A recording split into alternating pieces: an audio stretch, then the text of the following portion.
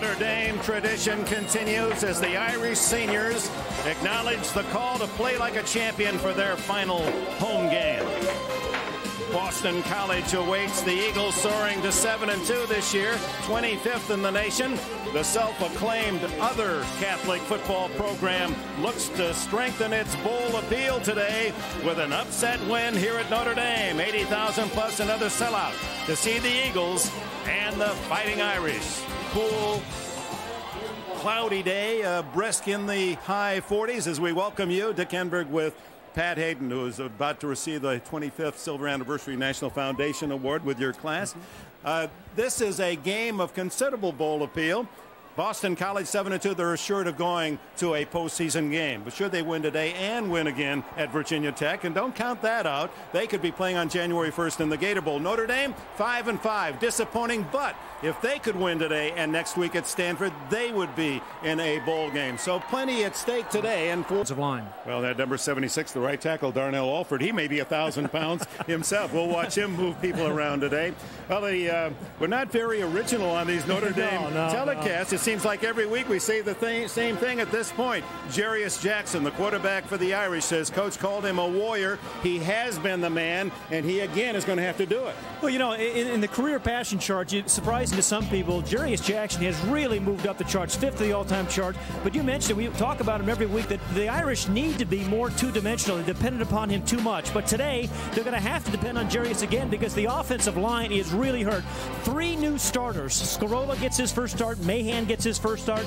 Vollers' just his second. And this is an offensive line. They're not going to be able to pound it right at Boston College. They're going to have to really play on the perimeter, I think, of Boston College's defense. And with the injury plague, the Irish are down to two tailbacks and two fullbacks, and the secondary knocked around as well. So it'll be under that uh, demand that especially Sean Mahan symbolizes the, the challenge today. Uh, the sophomore in his first ever start in the offensive line meets this man, Chris Hovan from Boston College, 290 pounds, an All-America on his way to the Senior Bowl. He's got the war paint on. It's the Irish and the Eagles of Boston College, the opening kickoff coming up. Back at Notre Dame, an emotional final game for the seniors of the Irish as they take on Boston College. Bob Davie is five and five. The questions are becoming more and more penetrating. A couple of wins would be the answer as he goes against Tom O'Brien, the third-year coach of Boston College. Let's go down to Jim Gray.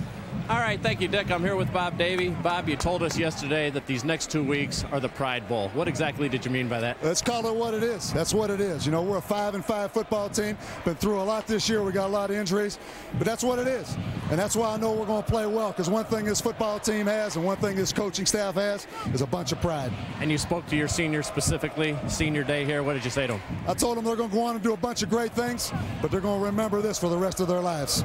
Bob, good luck to you today. Jim, thank you. I appreciate it. All right, back upstairs to you, Dick. All right, Jim. As you see, Jarious Jackson, and uh, there's a man who will be chasing and pressuring Jackson and the offense of Notre Dame all day with his war paint on. John Randle, the Minnesota Viking star, is his idol. He's from uh, St. Ignatius High School in Cleveland, played with Dan O'Leary, the tight end, end of Notre Dame. And if you, I've seen a lot of serious young football players. This man gets A plus in that regard.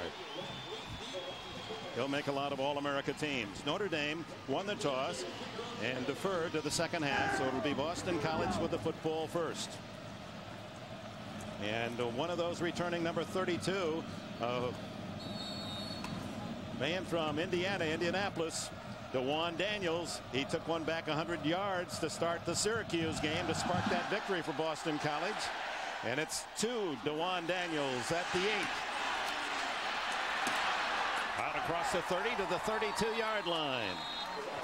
24 yard return and here comes uh, Tim Hasselbeck, the junior from Norfolk, Massachusetts, the son of uh, former NFL tight end Don Cook, LaCare, Palazza, Zukauskas, and the big right tackle, 340-pound Darnell Alford. They're good. Hasselbeck has Cedric Washington, handful of yards away from 1,000. Ryan Burch won't carry much. He's the blocker at fullback. Crittenden and DeWalt. DeWalt is the leading receiver. He has 36 on the year.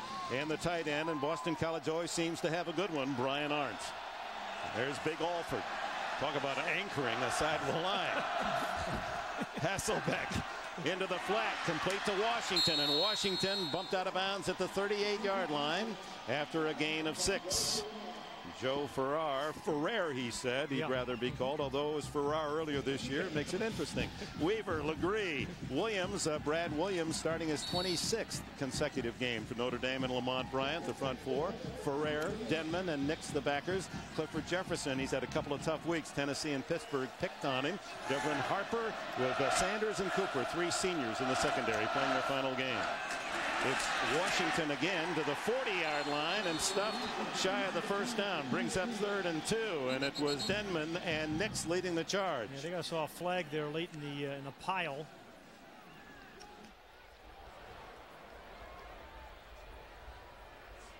Face mask call against the Irish. No first down with it.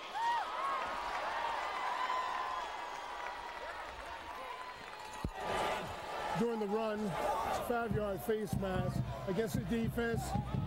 First and 10. John Smith is our referee. It's an all Big East crew. Well, there's yeah, yeah. Well, there's Ronnie Nix, I think number 34, who got his left paw right on there. Oh, first down, Boston College at the Eagle 45. Hasselbeck swings it to Washington. Good defensive play coming up to make the hit, Anthony Denman. Denman, the young junior linebacker, actually uh, would have a couple more years of eligibility from Rusk, Texas, and he's been one of the stars for the Irish. Absolutely. I think if you have to give an MVP on the defense, or Greg Mattison's defense, I would give it to Anthony Denman, number 39. This is the guy who started as a tailback when he was first recruited here at Notre Dame, then moved to outside linebacker. Now he's the inside guy, calling signals and making plays like that. Denman, number two in tackles, was 70 behind A'Jani Sanders, the safety man. Out of the shotgun, Hasselbeck on second and long. Fires incomplete. The receiver knocked down. Incidental contact. What a rush by Rocky Boiman. Mm. You know, BC, uh, I, I, guess people would consider them somewhat a surprise. It's 7 and 2. I mean, I've been impressed with the way they've been able to control some games, win some close games, play hard the fourth quarter, and I think Notre Dame would have to label a, a disappointment at 5 and 5. And Hasselbeck, you see his numbers as he follows his brother Matt, who was uh, also wore number seven. They both admire John Elway. Hasselbeck inherited uh, his brother's number. He's now backup quarterback to Favre at Green Bay. Third down and 13. Hasselbeck underneath to the tight end, and it's Arndt who moves to the 50-yard line, five yards shy of a first down, and Denman another tackle. Now the punt team on for Boston College. Kevin McMyler, a freshman from Dallas, the punter, averaging just 36 on his first season. And Julius Jones, the talented freshman from Big Stone Gap, Virginia, stands at the Irish 10. Still punt in the end zone. That's a good punt. That's a good punt. Very good to the six yard line. And when we return after that 44 yard punt, it'll be Notre Dame's first possession deep in their own end. Two minutes gone. Opening quarter. And welcome back to Notre Dame. Their first possession. The Irish lineup with Vollers, Scarola, Merandi, Gandy, and Mahan. The rebuild offensive line. We'll see how that chemistry uh, works today. Jarius Jackson with Fisher and Goodspeed. Getherall and Brown outside, each with 31 catches, and Jabari Holloway, the tight end. Although as they break huddle, we see Raki Nelson, who's been out with a knee injury since the Oklahoma game. Nelson was leading the Irish with 21 catches early, and he gets the start.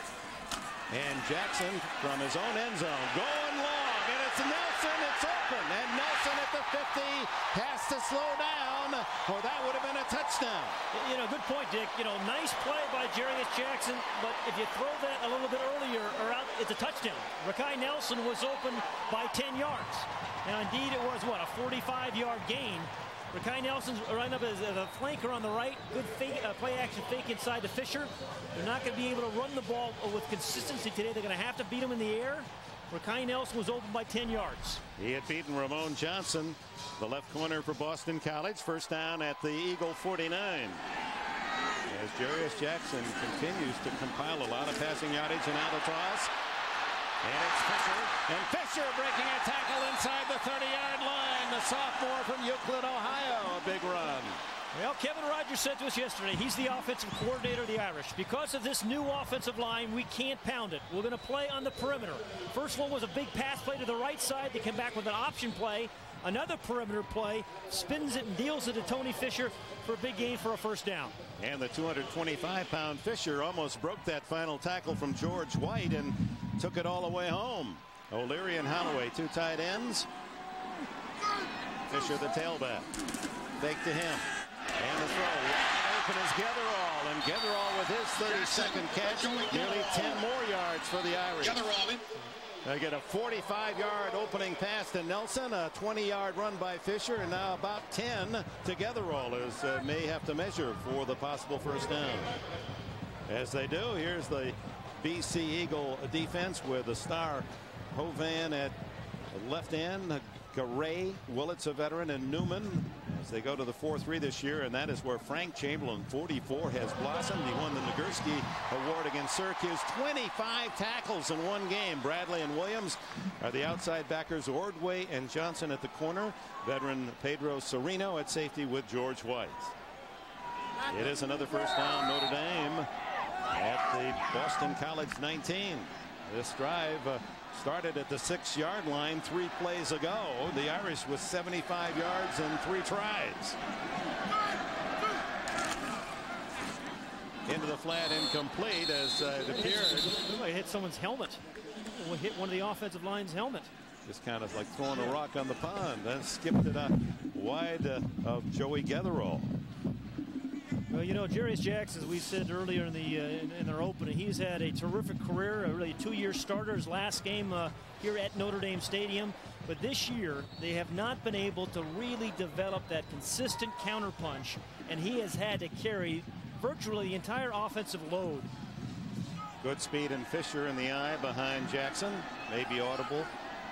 Into a new play, Getherall outside left. Here comes the option.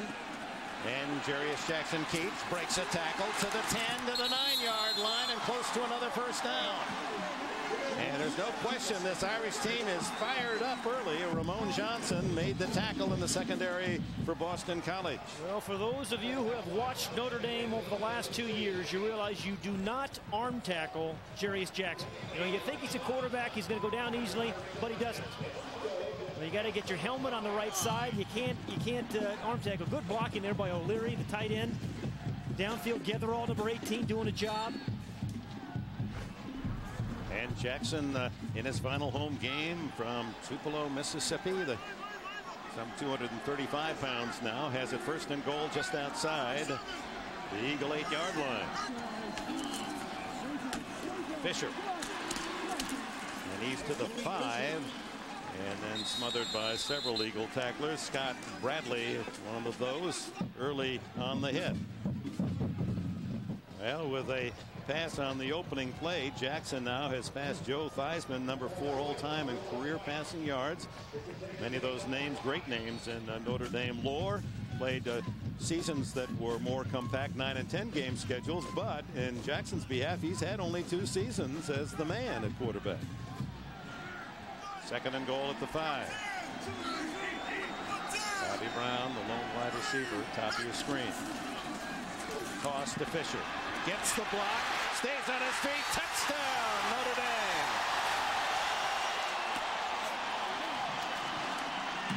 That, Pat Haden, was a very impressive drive. Perhaps the best of the entire season for Bob Davie. Well, in an opening drive, Dick, I think sets the tone for the entire half. And their big plays, just as Kevin Rogers uh, was hoping. The offensive coordinator came on the perimeter. There's Kevin Rogers. And, and, the two option plays, that last one there for a touchdown, a big 45-yard pass play was the first, but some big plays all on the perimeter. Jim Sanson adds the extra point, 7-0. Tony Fisher's third touchdown run of the year, capping a 94-yard drive in just seven plays. It took the Irish just two minutes and four seconds to capture the lead 7 0.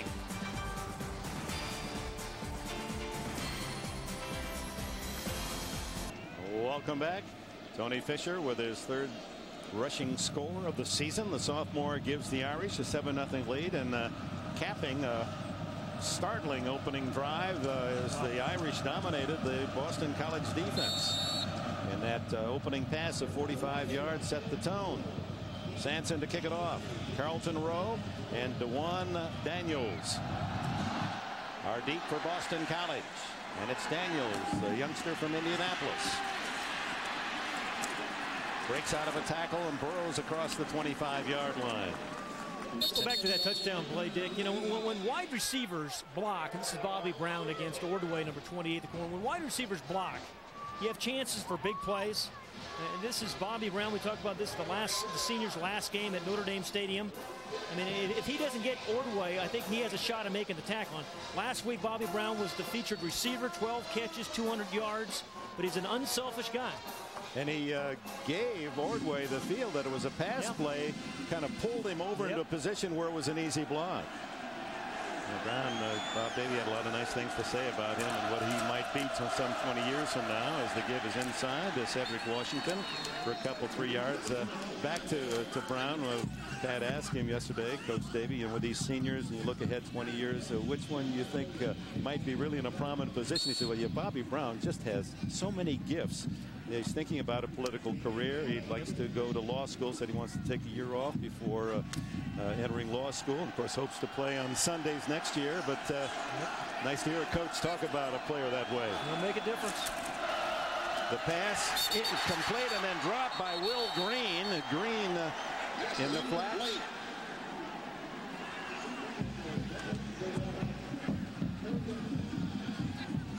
Bobby Brown actually told us yesterday, too, coming down and uh, for the very last time, number 88, said it was going to be very, very special coming down that last time, and this is a tradition at Notre Dame. You know, actually, the op-ed page today, in the local paper, there was an article about Bobby Brown. Some fan, he had get a, a ticket to a disabled kid, and uh, the family was thanking Bobby Brown for that as well. They're down and long. Hasselbeck incomplete. Trying to hit Ray Crittenden's son, uh, Derek Crittenden. Ray played with the New England Patriots, a wide receiver. Or was that uh, Jamal Burke out there? It was Burke. A lot of short arms out there right now. I mean, uh, I, I, was that, I think it's Burke. Yeah, it was Jamal Burke. Yeah, Jamal Burke. It, that was a little Venus de Milo there with uh, those arms. Yeah, there's no question this is a spirited Notre Dame team today. That's not the uh, Irish team that went to Pittsburgh a week ago. Yeah, they were very flat. Nice high kick. Fair catch. And uh, Julius Jones bumping into his own man. A flag thrown by the referee back at the 30-yard line. A 35-yard punt by Kevin McMillan. No and personal foul. Personal foul against the, the Eagles. Ball at the 37 of Notre Dame on the fair catch. There's Tom O'Brien who's done a fantastic job in his three years of breathing life back into this BC program. The gambling scandal of three years ago and just wondered if the Eagles would survive uh, all the negative uh, news, the players involved. And here they bring a man in, the former uh, Navy man, went to Annapolis, coached under George Welsh at Navy and at Virginia. He's quiet and he's strong and he's disciplined. And three years he's got uh, Boston College going to a bowl game. First time in six years.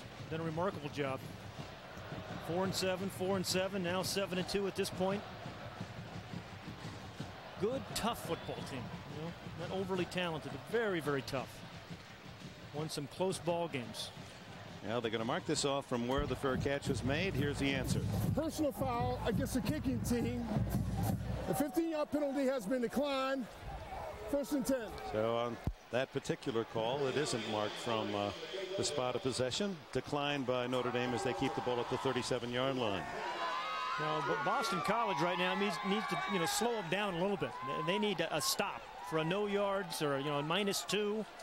Right now, I think, I think they're just shocked at, at the uh, speed in which Notre Dame scored on that opening drive. And there's a guy that, that puts a lot of stops on you, Chris Hovan.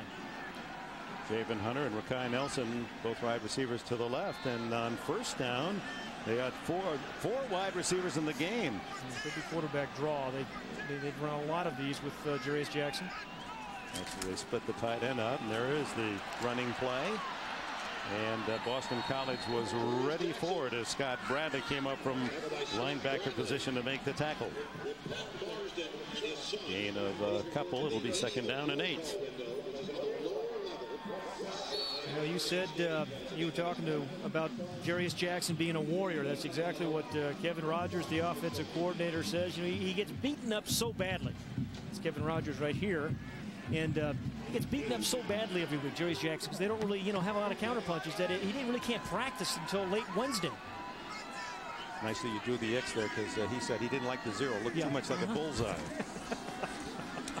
Here's the toss, and Fisher dropped for no gain, maybe a loss of a yard. Back at the 38-yard line, and there's Chris Hovan making his first statement of the afternoon.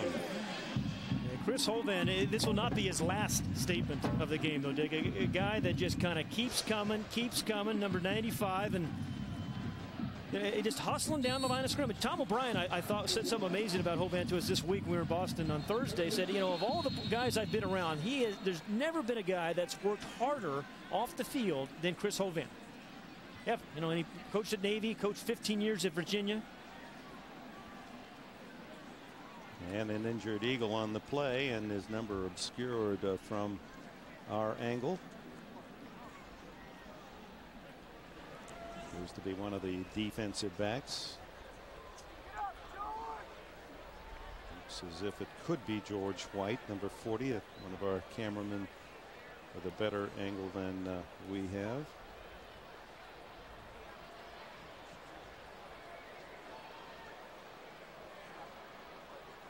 Let's go back and uh, see the play again as uh, Hovan makes the tackle. Oh, ouch. Ouch.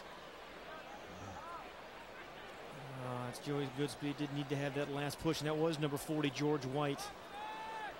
It's just in the wrong place. Too many people Yeah, around you and your leg caught underneath. And uh, amazingly, he walks off the field showing no effects, not even a limp. He's more limber than you or I, I'll say that. When you think about this game and what it does to Oh. the physiology of man, we are terrific machines, aren't we? I I mean, those guys, not us, Yeah. but I mean, I want my kids to play tennis. uh, third down and nine for Notre Dame. Yeah, and I think it's a really, er, very early in the game, obviously, but important down, an important down for BC's defense. Doug Bissett, 18, replaces White at safety. Holloway, the tight end, splits out to the left with Fisher in the slot left. So here's another new look with Brown and Getherall both to the right. Jackson quick throw to as he tuck over the middle of first down at the BC 46. 16 yards for Getherall on his 33rd catch of the season. He, he is really an anomaly. When I say about Joey Getherall, he's 5'7", 175 pounds, but his area of the field of Notre Dame Stadium is between the two hash marks, right over the middle of the field. Here he is. A slant route well thrown by Jarious Jackson. And, and the thing about Joey Getherall, when he gets his hands anywhere near it, it's going to come down. He's going to come down with with the catch. Jay Johnson, senior, is to the right as he makes his appearance. And uh, inside they go to the fullback Goodspeed for little or no yardage. And if there's been a disappointing aspect of this offense for Notre Dame this year, that's it. At fullback, Goodspeed and Lopienski, when they have carried, not much gained. And they really haven't blocked well, according to their coaches. They've needed more run support out of their blocks. Here's the amazing thing is, is the longest 12 yards in 43 carries. Now, particularly in an option offense, every once in a while, a fullback's going to pop through for a 40 or 50 or 60 yard gain. They just have not had any long runs out of the fullback position. We'll have to get productivity out of that fullback spot to improve. They're both sophomores, and they figure to be much better a year from now. Jackson sees a man open, and it's Fisher who breaks the tackle, and he's to the 10-yard line. Ordway finally got him to the turf, 38 yards as Fisher lined up out of the backfield as a wide receiver. He has been a pretty good receiver for the Irish this year. And Jarious Jackson is on. You know, a few weeks ago we saw him against Navy and then against Tennessee. Didn't throw the ball particularly well. Here he is, Fisher, right number 12 in the slot. No one even comes close to covering. And then he just kind of dodges a guy. Real smart thing. He kind of avoids the defenders, shifts arms to the ball from left to right because he felt the pressure coming from his left side. Mr. Ohio football as uh, he played for Euclid High School in Ohio. On first down, it's Julius Jones, and Jones, untouched, has another Notre Dame touchdown. The freshman, 11 yards for the score. It's 13 nothing.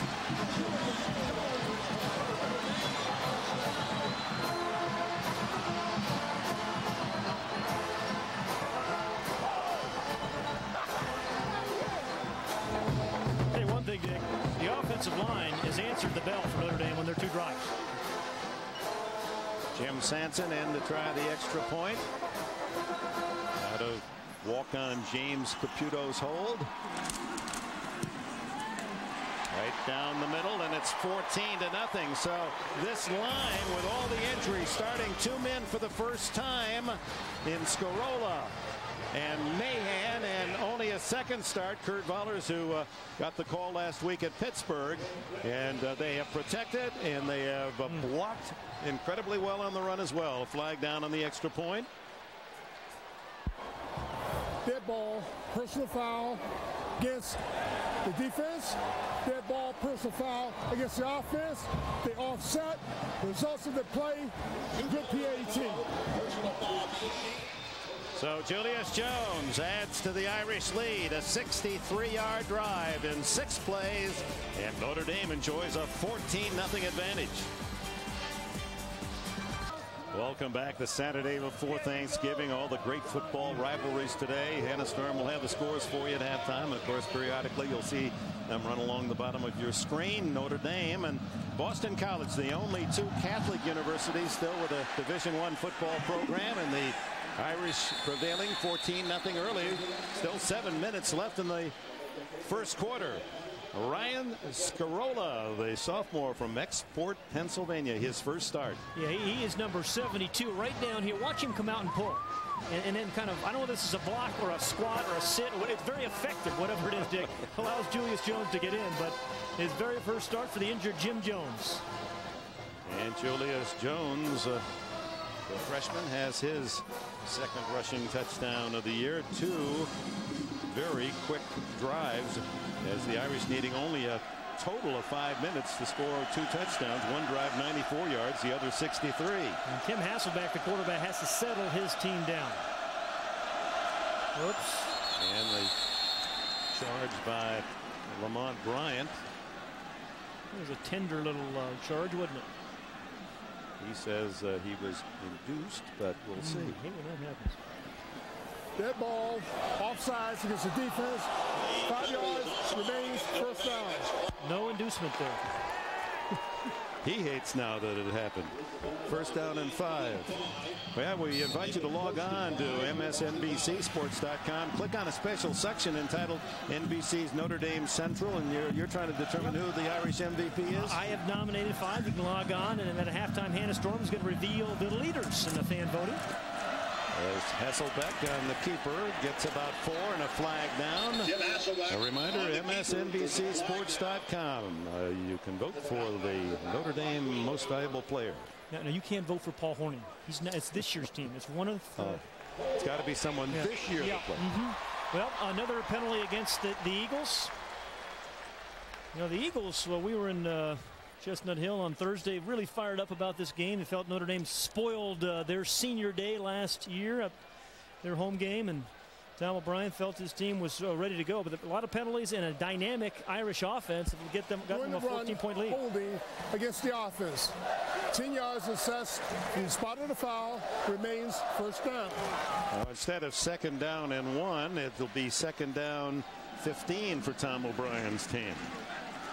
And here's where you think screen, draw. Uh, if, you're Tom O'Brien, to get some of it back.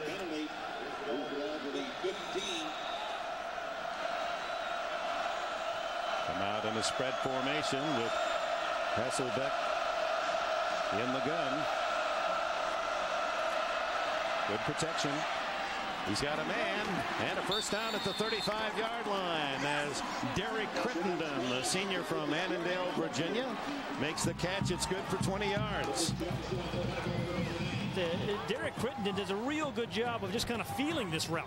Down the sideline, knows exactly where the, the first down mark is, goes around Clifford Jefferson, who's kind of struggled this year. You know, they, the, Dana Bible, the offensive coordinator, says, hey, we want to work on Clifford Jefferson today. Well, he's had a lot of uh, business, hasn't he, the last yeah. couple of weeks? Tennessee and Pittsburgh throwing in his direction. Can elude the rush as it was first number uh, 94, Andy Wisne, who got a piece of it and turned him around, and uh, help came for the Irish. You know, for the Irish defensively, I think the biggest problem this year is putting has been putting pressure on the quarterback. But Wisne's number 94 down here. Big fan of wrestling, uh, wants to be the master of destruction in WWF wrestling when his career is over, but gets a good push, push there. Lamont Bryant there as well. Wisne and Sean Mahan starting uh, in the offensive line today for the Irish, both uh, from uh, Jenks High School, that great program outside of Tulsa, Oklahoma. Timeout called by Boston College with 5.39 remaining in the opening quarter. Notre Dame 14, Boston College nothing. A year ago at Chestnut Hill, a heartbreak for Boston College. They were down inside the five, four plays to go, and Mike Cloud, first down, second down, third down, couldn't get in. Then on fourth down, Deke Cooper met him in the hole, and Boston College denied. Notre Dame wins 31-26, and that's the picture taken from the sidelines on fourth and goal. How hard are you going to work this week? Those posters all over the locker room at Boston College. They wanted to answer that positively, but Notre Dame has uh, been in strong denial early with that 14-0 lead, and Deke Cooper will remember that tackle as one of the highlights of his career here with the Irish. Deke who wants to go to graduate school. He said, why don't you tell my dad on the air? I don't, I don't want to approach it yet. Hasselbeck to Washington. It's out to the 40-yard line. A gain of 10. It'll bring up third down and five. Clifford Jefferson, the tackler. Uh, again, this has been a uh, you know a, a tough-minded Boston College team all year long, Dick. And a down 14 points very early. This was not the scenario, obviously, they had thought about. But uh, this, these are the times of the game when your quarterback and Tim Hasselbeck is a tough guy. He, you know, he played special teams uh, as a freshman, as a redshirt freshman. That's the kind of, kind of guy he is. But he needs to, to pick up this first down, keep something alive here. Third down and five.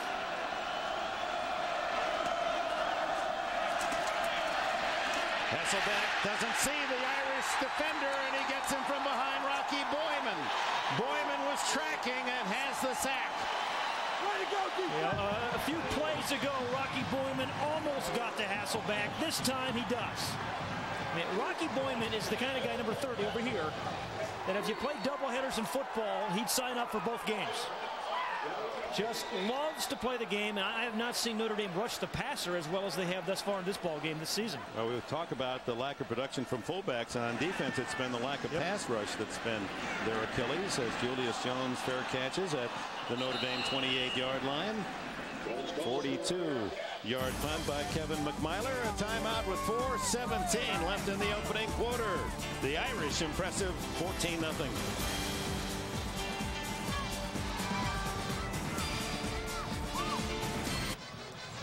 0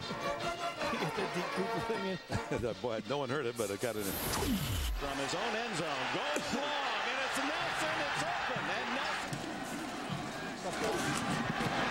Yep. Big plays in the pass. Figured it'd be much better a year from now. Dick, it's Jim. Uh, George White sprained left ankle. He's back on the field right now. And he's okay. Big passes. Set up both touchdown runs. Okay. got it. You do that one after the kick or right out? Thank you, Dick. Thank you, Dick. Thank you, Dick. Thank you, Dick. Where are you anyway, man? You, did you disappear on us? On the uh, 22. Okay. Well, listen, you know that leprosy, yeah. uh, you don't get that leprosy. You can get yeah, closer to us. You I won't give it to you. Before they play? okay.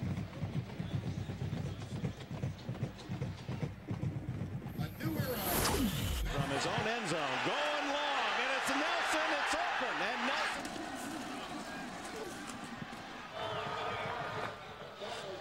you coming out with the package, you're going to run a play first. Okay?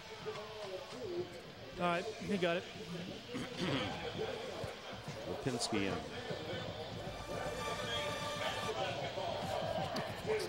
Nah, don't, don't no, no, don't show that. I don't like that nuke. Knute Rockne. 13 plays the Notre Dame offense facing only one third down challenge as they have moved the ball at will against this BC defense thus far. They start from the 27 and with the option Jarious Jackson blockers in front 35 and almost to the 40 a first down for Jackson out to the 39 yard line Marco Williams and uh, Frank Chamberlain bump him out. This has not been a good Irish team on the road this season, Dick, as we both know, but at home they have been tough and, and much more spirited than they were against Pittsburgh a week ago. Only loss at home to Michigan State, and we're in that game to the middle of the fourth quarter. They're 0-4 away from Notre Dame on the season, and will finish at Stanford in that high-powered offense of the Cardinal next Saturday. Play action, Jackson firing, incomplete, intercepted on the deflection. It is Ramon Johnson who has bumped out of bounds near midfield. So the ball deflected off Raki Nelson and into the arms of Johnson, who has his second interception of the year. Uh, his first interception, he ran back for a touchdown. He had that in mind. This one. Again, just maybe a little bit too long for Nelson, but but catchable. Maybe a little too high. And again, that, that's the old drill. Everybody talks about the tip drill. That's what you do every day in practice. And the Irish, you know, on offense, they, this is where they've had some problems turning the ball over this year. 12th interception for Jarious Jackson this season. That Ramon Johnson knows how to make money plays. You know, we're going to talk about that later. He's got quite a portfolio. Oh, I, I knew you were going to just shoehorn that one in there. no, we'll have plenty of time later. First down at the 47. And it's Washington looking for a block. Gets one, and he's into Notre Dame territory and bowling over an Irish tackler at the 45-yard line. Ronnie Nix finally makes the stop. Cedric Washington, I think what coaches like about Cedric Washington is, you know, he doesn't try to dance around, doesn't try to, you know, for a 40-yard run. Watch these guys up front. Leclerc number, uh, Leclerc number 50 in particular does a great job, as does Michael Cook. But Cedric Washington, you know, if there's four yards there, he's going to, you know, squeeze it out for six or seven. 13 yards today and 985 for the season for Washington, who wants a thousand. Get very little on this play as Lamont Bryant drags him down at the 44. It'll be third and one.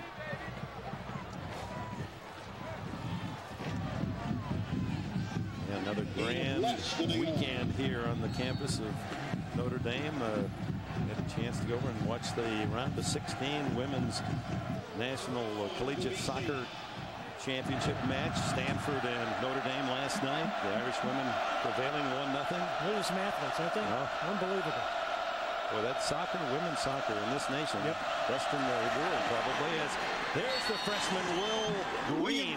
And here is a prime talent. He was a number one pick. Every school in the country wanted this 220-pound freshman from Atlantic City, New Jersey.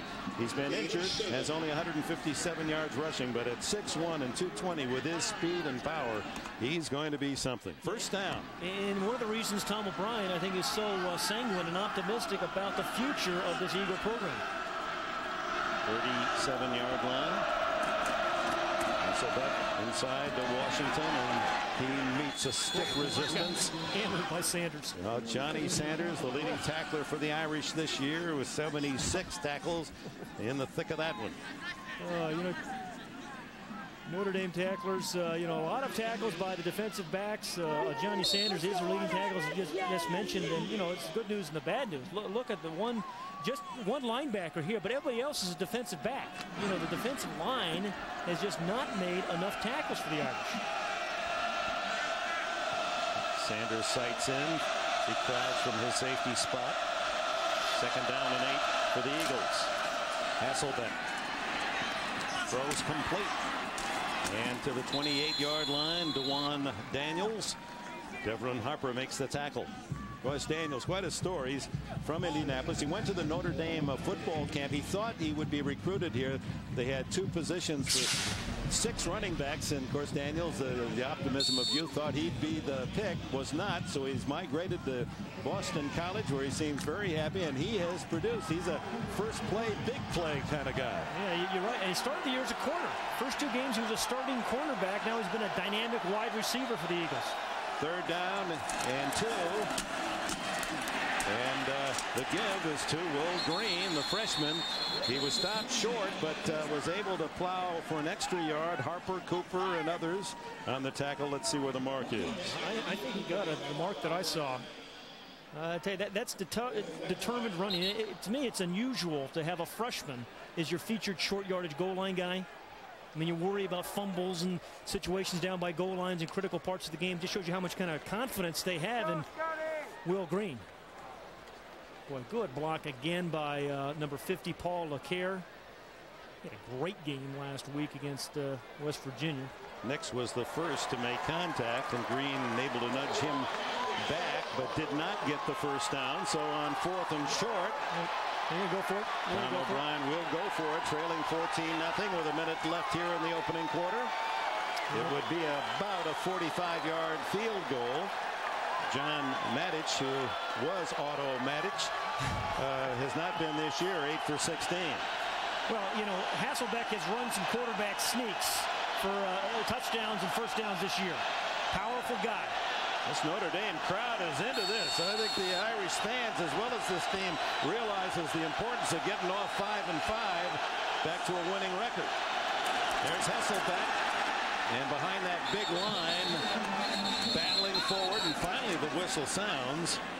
And uh, the spot is at the 27-yard line. It's going to be close. You know, we are talking to coaches about Tim Hasselbeck this week, and the, you know Dana Bible, the offensive coordinator, Tom Brown, the head coach. You know this guy is a winner. Uh, you know, he finds a way to make plays, and sometimes that's uh, coach speak for a not, not a terribly talented guy. There's Dana Bible, appropriate name when you come to Notre Dame, isn't it? or Boston College. yes, that's true. But, you know, they said this guy, it, has some talent, you know, and it's really, really tough. As we mentioned, he played special teams as a redshirt freshman. Heck, he grew up with two uh, two brothers roughhousing down in their basement as well. Just enough for the first down. So the Eagles drive still alive at 14 nothing. A first down at the Irish 27. Timothy Thomas Hasselbeck. his brother, as we mentioned, already playing with the Green Bay Packers, and his younger brother, Nathaniel, is an outstanding high school wide receiver has already committed to Boston College. So he'll uh, have the opportunity to hook up with his brother passing combinations a year from now. Ryan Burch, the fullback. The fake is to the tailback, Washington. Hasselbeck has the man open. It's a tight end, Brian Arndt. And Arndt is in the end zone. Boston College scores. Hasselbeck to Arndt.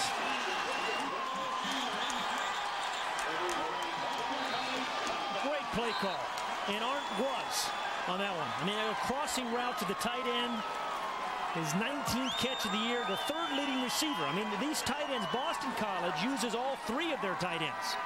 Matched up against Rocky Boiman, number 30. Boiman's a better pass rusher than he is a coverage linebacker. And he doesn't get to him until Arndt is already in the end zone. Now the try for point by Matich. Hasselbeck holds. And the kick is good. And the Boston College Eagles with just a half minute remaining in this opening quarter are back in the game at 14 to 7 and Brian Arndt we talked about the tradition Boston College uh, the great tight ends Mark Chmura and Pete Mitchell come to mind and this young guy Arndt a senior from Pittsburgh Central Catholic High School has his third score of the season. You know really good call by Dana Bible the offensive coordinator this wide receiver is going to clear it out but the tight end is going to sneak over. You see, the wide receiver kind of takes a bunch of traffic with him. See, everybody's following him. Here's Here he comes. And he gets lost in there, and then uh, Rocky Boiman, who's, as we said, really a pass rusher, ends up covering him. So well-designed pass play.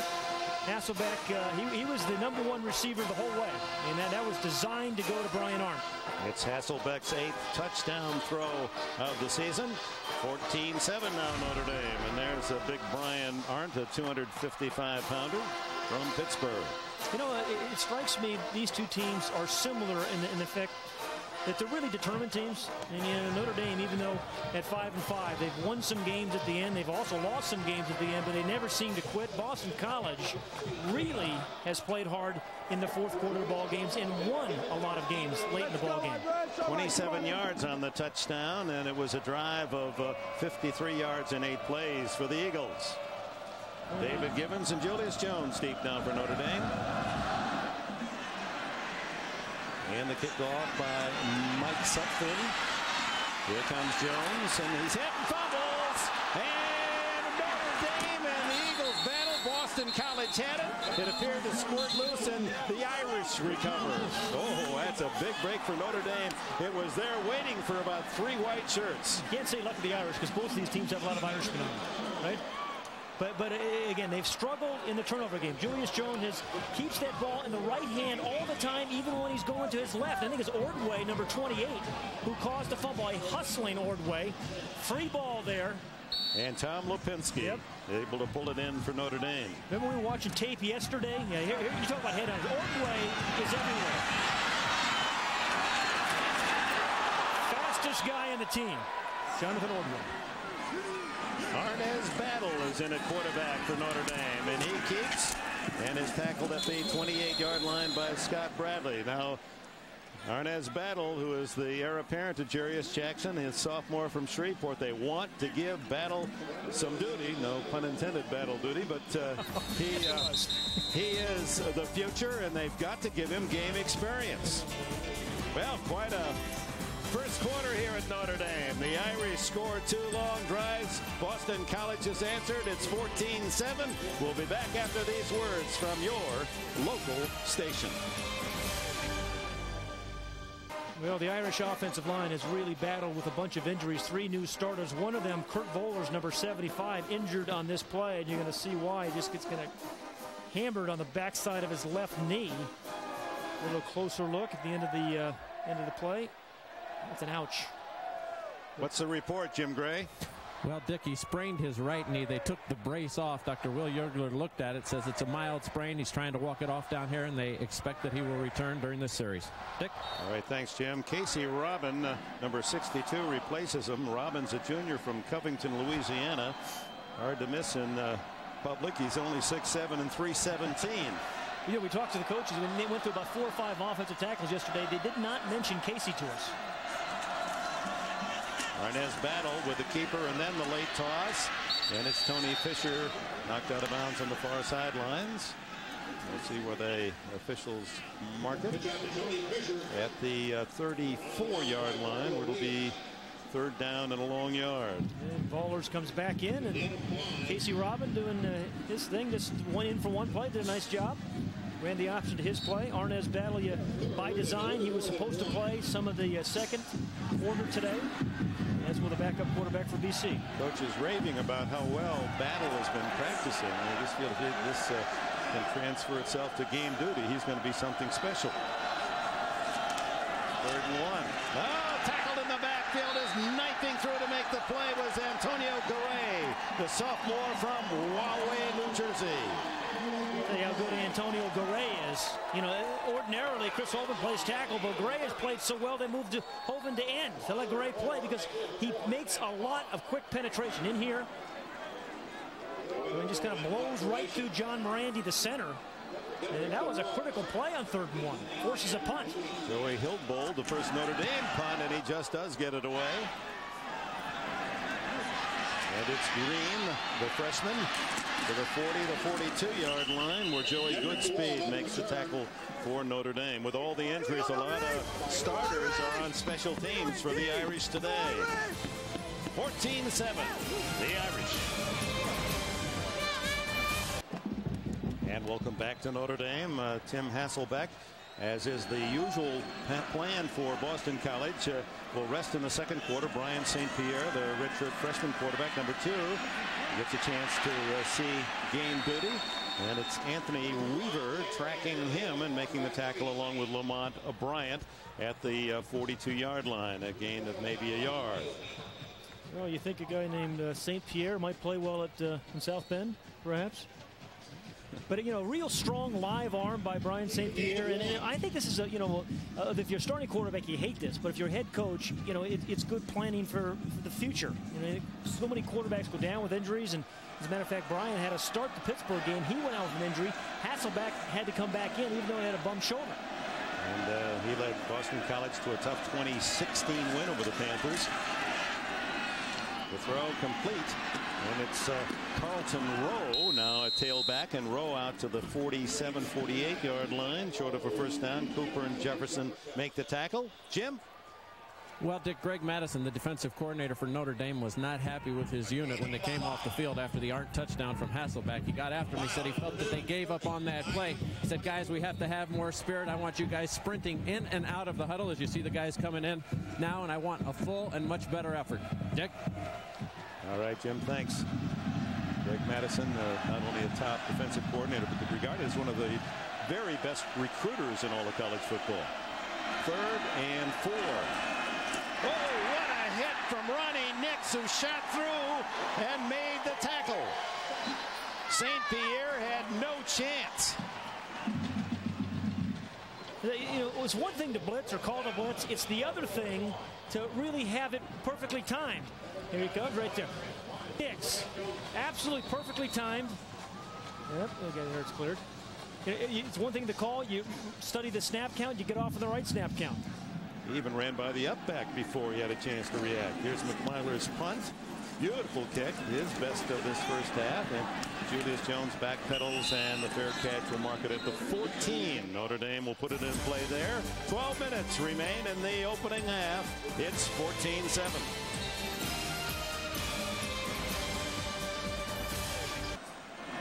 First down, the Irish at the 14 leading 14 to 7. It's Fisher.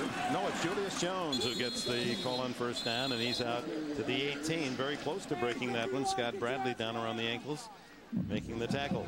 Well, what a family. You we talked about Julius Jones, his brother Thomas Jones at the University of Virginia, leading the uh, nation in rushing with uh, over 1,700 yards. You know, Julius Jones had his biggest day against uh, Navy a couple of weeks ago and said after the game, you know, they rushed for 146 yards. Really disappointed my parents weren't here, but they were watching my brother play against Florida State. Second down, it's closer to six. Jarious Jackson through the hands of Getherall. You won't see uh, That's what I'm saying. Yeah. the jockey, as they call him here, Joey Getherall, drop many at all. Uh, a reminder to check out Notre Dame's official athletic department website, und.com, for live in-game statistics. As uh, you see the miss again, transcripts of Bob Davie press conferences and all the inside information on football and the other Irish sports can be found at und.com. Third down, a long five. Tony Fisher He's out to the right along with uh, Jabari Holloway and two wide receivers, Getherall and Brown to the left. Jarious Jackson steps away from pressure, but there's the second wave and the sack at the 15-yard line. Chris Hovan gets his first of today, his 10th of the season. He has 15 tackles for loss on the year as well. Five forced fumbles and a block kick, one of the 12 semifinalists for the prestigious Lombardi Award. You, you, know, you talk about that bull rush. You know, you don't use them quickness, you just use them power. That is what Chris Hovan used right there on Ryan Scarola. Now the punt is freshman Joey Hildbold. Fair catch by Green at the Irish. No, make that uh, DeWalt makes the fair cash, and Boston College is at the Irish 49 when we come back. Welcome back. Another big play from Chris Hovan, the 290 pounder. Uh, cinched to be all Big East for three consecutive years. He writes a, uh, something on his uh, wrist for every game to inspire him. I guarantee a victory. Apparently, uh, the, he thought uh, Coach Bob Davies said that last night at the pep rally. Unfortunately, he misspelled Coach Davie's name there, but uh... don't think that will. Uh... no, not a bit. As Washington rambles for nine on first down, Tim Hasselbeck with a handoff as he returns at quarterback for Boston College. Deke Cooper makes the tackle, and Boston College, after the Notre Dame opening surge, 14 0 early, have a touchdown to cut the lead in half and have moved to the Irish 41, second and two. Yeah, that was an eight yard game because it was uh, about a six yard block by the offensive line, and then Cedric Washington got the rest on it by himself.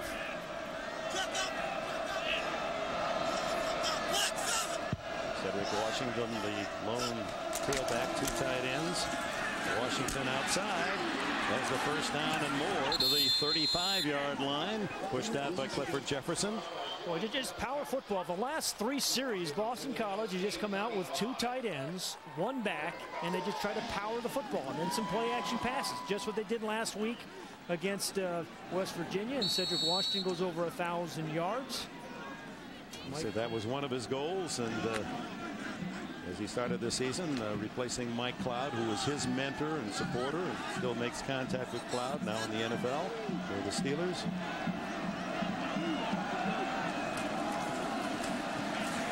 Protection. Underneath he goes to the tight end. It is Brian Arndt, the touchdown maker, who has uh, a first down, it would appear, inside the 25. Weaver and Nix make the tackle. Boston College just such a good job of, of, of, using their tight end. It's 20th catch this year by Arndt. Said the second. Uh, One of the great rivalries there, Central Michigan Ball State going at it today. What was your alma mater doing? 27-21 the fourth quarter.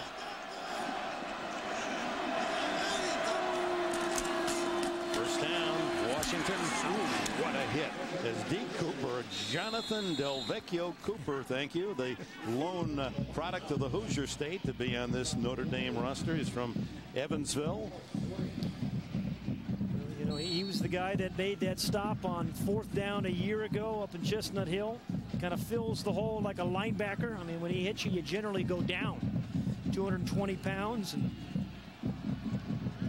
talked to him yesterday. Says, as you mentioned, Dick, I really want to go to graduate school. Would you let my father know he's going to have to pay tuition for a change? Another $30,000. Oh, no, that's right. The change, that's been paid for. Hasselbeck going toward the end zone. One-handed catch. A touchdown for Jamal Burke.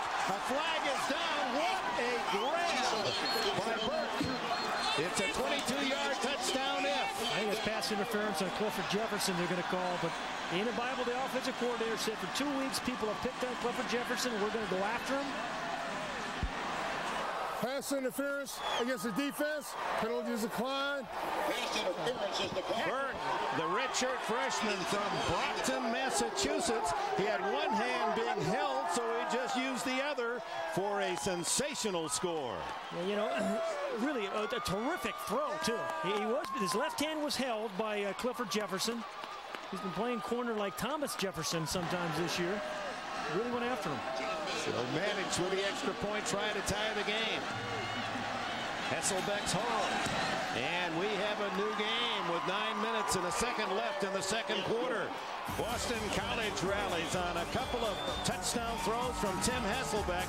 But this one, brilliant play by freshman Jamal Burke. It's tied at 14.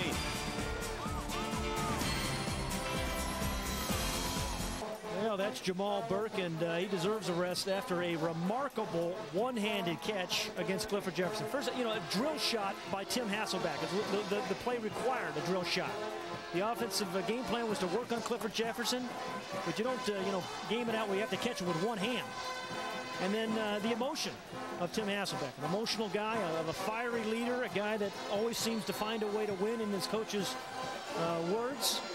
You know, wasn't wasn't discouraged when he was down by 14, was he, Dick? That's a uh, terrific comeback for Tom O'Brien's team, and it tells the story about O'Brien at Boston College comeback.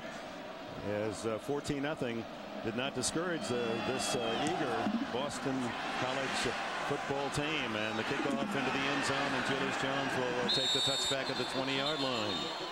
As you see, Jamal Burke, wears a, kind of a tight end number 84 these days, but he's a wide receiver. His nickname in high school was Leapfrog mm. for his uh, vertical uh, power. He 38 inch vertical. And uh, as just a freshman, he gives uh, Tom O'Brien, a receiver that is uh, not only athletic but a big man, a big yeah. target. You can see he's got great hands. Yeah, what Dana Bible said, said us this week said, you know, the, the, light is finally gone on for Jamal Burke. He's really come alive. Some big catches last week against West Virginia. And now the Irish, their lead of 14 nothing has disappeared. Give to Fisher, no gain on first down. So the Irish last three possessions, two plays and an interception, three plays punt, three plays and out again. So after a great opening drive and a drive to follow the, for a touchdown of 63 yards, uh, they have been quiet.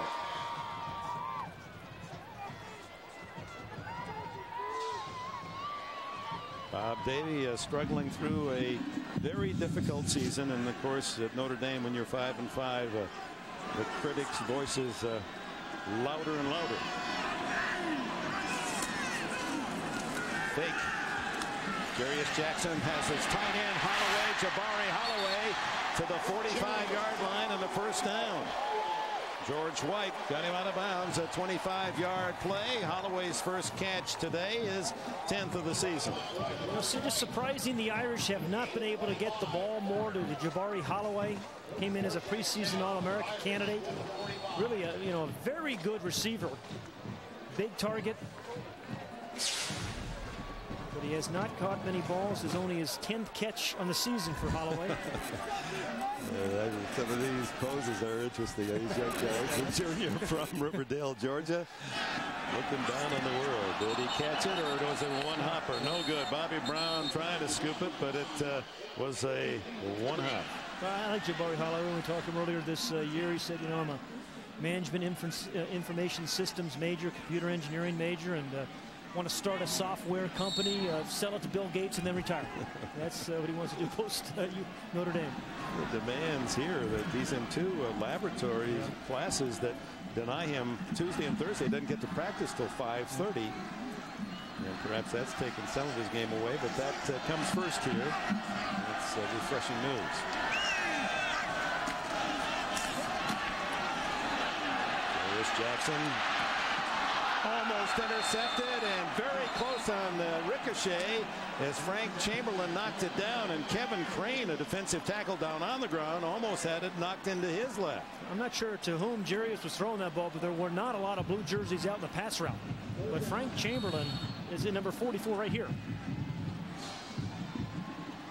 I watch 94 in front of him almost an interception for the tackle. Well Uh, if Chamberlain didn't get it, I think Ramon Johnson, number six, was going to intercept the ball. So it's third down and 10 for the Irish at the midpoint of this second quarter. They go with three wide receivers. Here comes the blitz from Bradley. Picked up. Good throw, and it's complete to Givens. David Givens, his first catch today after going without a touchdown for almost two full seasons. This talented sophomore from Humble, Texas, in the last couple of games has thrown for a touchdown, he's run for a touchdown, and he's caught a touchdown pass. You know, nice, nice hands actually there by Jarious Jackson. A lot of the snaps I've noticed this year seem to come out to his, you know, right. He has to catch a lot of them with just the one hand. Hangs in the pocket pretty good. Just drills the ball right in the middle of that six of Givens. That's right out of the textbook. That throw. First down at the Boston College 40. Fisher and a threat his way gets three to the 37 yard line. Jerome Ledbetter. They like this freshman from Jersey City, New Jersey. Big room. Uh, they feel at 6'3", 220 is going to be a big-time linebacker. Forced three fumbles in one game. Their opening game against Baylor has been injured a lot of the year, but you know, really one of those guys that uh, Tom O'Brien's really going to upgrade the talent level with his team. Guys like Ledbetter, and you mentioned uh, William Green earlier. Javin Hunter in the slot. Tony Fisher slid out. And then the throw incomplete through the hands of Givens. Over the middle, uh, Chamberlain was there along with Bradley for Boston College. David Givens has had a pretty good two weeks for the Irish. They, they have lost games, but he's had a rushing touchdown, the very first rushing touchdown against the University of Tennessee this year. Had a receiving touchdown and threw a touchdown. And uh, even though he plays wide receivers for the Irish, you know, Dick, I got the sense when we talked to him yesterday that he really still views himself as a tailback. Quite a family, too, he told us. An older brother, 23, and a younger brother, three years of age. Same parents. Uh, and uh, he's the middle of five. Just outside of Houston. Boy, another drill, but knocked away from Bobby Brown. Still looking for his first catch is Jonathan Ordway. Able to get a hand in there. I, I like this Jonathan Ordway. I watched him play last week against West Virginia, and you could just tell that the game is important to Jonathan Ordway. I mean, he flies all over the place. That's good makeup. I mean, he was open. I mean, Jarious Jackson saw him open, but good uh, recovery speed by Jonathan Ordway. So Hildbold comes in to punt for Notre Dame. And DeWalt back to return at the 10-yard line.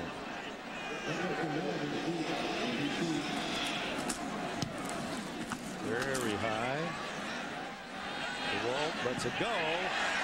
And did the Irish that grounded the ball keep his feet out of the end zone? Apparently he did. 35-yard punt as number 28 downfield for the Irish. Donald Dykes able to ground it. And Boston College starts at the one-yard line when we return. Okay, was he on the line? If any part of his body touches the line, he's in the end zone.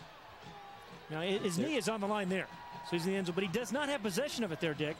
Jerome Sapp comes yeah. in to cover. Watch another another angle. He's on on the line. Oh, the fact he bobbles, it's yeah. a break. That's a great call by the official because it certainly appeared that he was in the end zone when he touched the ball, but his knee hit after he'd lost the ball, so it stays out at the one. Yeah, now he's in the field of play. it's easy to criticize officials. That was a very difficult call. As the Irish defenders ask for the crowd to help as Hasselbeck sets up at the one-yard line. And he's going to go throw. He's got his man. It's the tight end, Robert Ellis, and he has a first down out across the 15 to the 18-yard line. What a great play, great call, and then great execution by Hasselbeck to Robert Ellis. I mean, I think everybody in the house is thinking, hey, we got a great offensive line. Let's pound it out at the Irish. Here he is down here. Play action fake. Good block there, too, by Washington. And, you know, that, that, terrific call, but that's only half of it. Then, then you have to execute it. Good play action fake. Cedric Washington after fake made a key block. And then Robert Ellis bobbles it, but then secures it for a first. Right, a target 6'4", 261. Ellis from Baytown, Texas. First down on the 17-yard play. Hasselbeck now with a scramble. Fires back over the middle, complete to Crittenden. And Derek Crittenden is out across the 40-yard line and another Boston College first down and the Eagles on the move again 23 more yards 14-14 a little under six minutes in the first half and I tell you this, this drive looks a little bit like the opening drive of the Irish a lot of explosive plays Crittenden really kind of drives his guy up then finds an area his quarterback is scrambling around just finds that soft spot in between linebackers and safeties drill shot by Hasselbeck again and Dana Bible has got an offensive uh, game plan that's working this far. 11 for 14 for Hasselbeck. Two touchdowns. He's had quite a first half. Hands off this time to Washington. And uh, struggles out to the 45-yard line. A pickup of almost four before A'Jani Sanders makes yet another tackle for Notre Dame. Things about this Boston College offensive line, Dick, that I, that I like so much, and Paul LaCaire, number 50 there, just showed it again. Uh, you know, they can really kind of drive block it, but the, the, all these guys are nimble enough to move around and pull and, you know, come down and block linebackers and safeties. And LaCaire has had a really strong season for the Eagles. Nimble uh, he is as the lightest lineman at 291. They average well over 300 on that front wall. Second down of long six. Hasselbeck Wide open field ahead, so he tucks it away and slides with a first down inside the Irish 35-yard line. Don Hasselbeck, nine years in the NFL, the six foot eight inch tight end with New England and others, couldn't be prouder. Mm. You got to be proud of all three of his sons, all of whom were good guys and, and very good athletes. Again, coaches say, you know, he just makes things happen. He knows how to win. He's tough. And he got everything out of that scramble that he possibly could have. 21 yards scramble by Hasselbeck and Boston College turning this game around after trailing 14-0 early. It's Cedric Washington a couple of yards into the arms of Anthony Denman. Remember this drive started at the one yard line.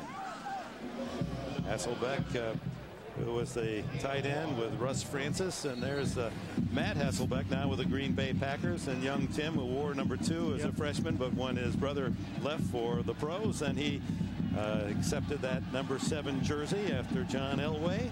There's dad wearing seven. Nathaniel, his other son, played a, a game yesterday back home, Boston wide receiver, or he'd be here as well. Donald Dykes and Ron Israel in for uh, Notre Dame six defensive backs. So Hasselbeck, the quarterback draw, to the 25-yard line. He's just shy of a first down, it would appear. Hey, this guy played with some, uh, Don Hasselbeck played with some pretty good tight ends. I guess you might call him a little unlucky, Dick. He went to some teams. He started out with New England. Well, Russ Francis was there. Then he happened to go to the Raiders. Well, Todd Christensen was there. then on to Minnesota. Well, Steve Jordan.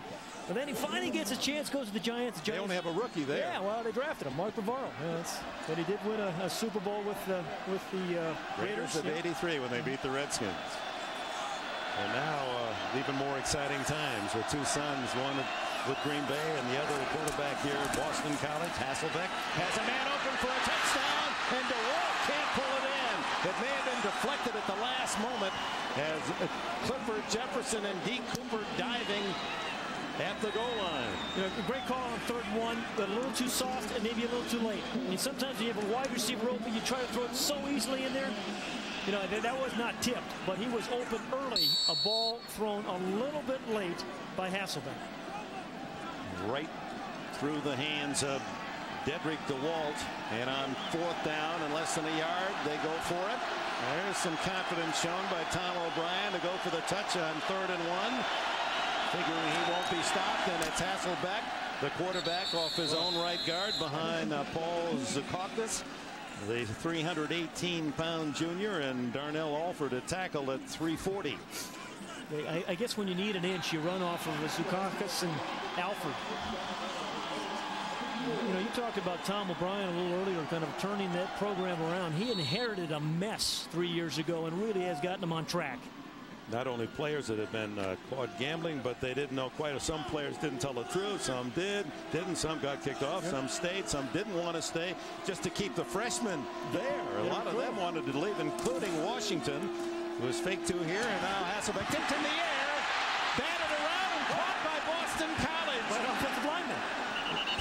It was knocked around, and one of the big old bullies up front came downfield and caught the ball, and that's a legal catch. It was in play. Yeah, because Brian Arndt, I think it was Zukauskas, number 66, his first reception of the year, by the way, Dick. but Brian Arndt, I think the tight end who caught a touchdown a little bit earlier, does a great job of, he sees the ball tipped, He's just trying, he, he turns into defender. And then Zukauskas, he, he practices the tip drill each week, does Zukauskas. Hey, move from offensive tackle to guard. Who knows? Uh, next year, this junior may be a wide receiver. I like that boy. Washington as Boston College driving deeper into Notre Dame territory. Now to the eight-yard line with two minutes left in the half trailing 14 nothing early. Tim Hasselbeck has uh, led this Boston College team uh, right back into it, and now they threaten to take the lead for the first time. Tim Hasselbeck has had a very solid first half, as has Brian Arndt. And that, that, may have been the play of the game because that ball would not would have been intercepted if Arndt doesn't hustle over there and tip it away. Daniels, the only wide receiver, Burks the fullback, and Washington at tailback. Fake Hasselbeck knocked down. Number 77, Brad Williams, able to get a hand on it. And that was a big play for the senior from Orange, California, Williams, because it appeared there was a BC receiver open in the end zone. That's uh, Brad Williams. You know, you keep fight, you keep playing. Sometimes good things happen. You're, you're right. Daniels was open on about the three-yard line. A third down and seven, six defensive backs for Notre Dame. And, and, if you're Tim Hasselbeck, you just have to be careful in this situation, Dick, of trying, you know, make sure you don't squeeze it in too tight. The guy's open, drill, drill it, but you're in field goal range, and it's a tie ball game. From the eight-yard line. Quarterback draw. To the five. Well done by the Notre Dame defense. When they first took off, it looked as if it had a chance.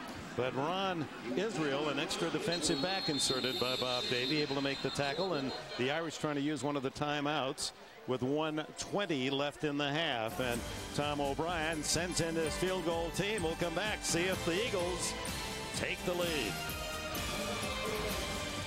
Look at Tim Hasselbeck, also the holder on extra points and field goals as he kneels for a 22-yard attempt by John Matich.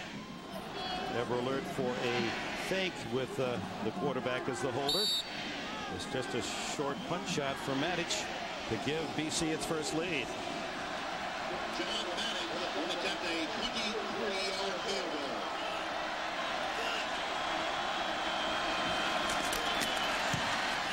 And the Eagles are in front 17-14 to the delight of a couple of thousand in that end zone high.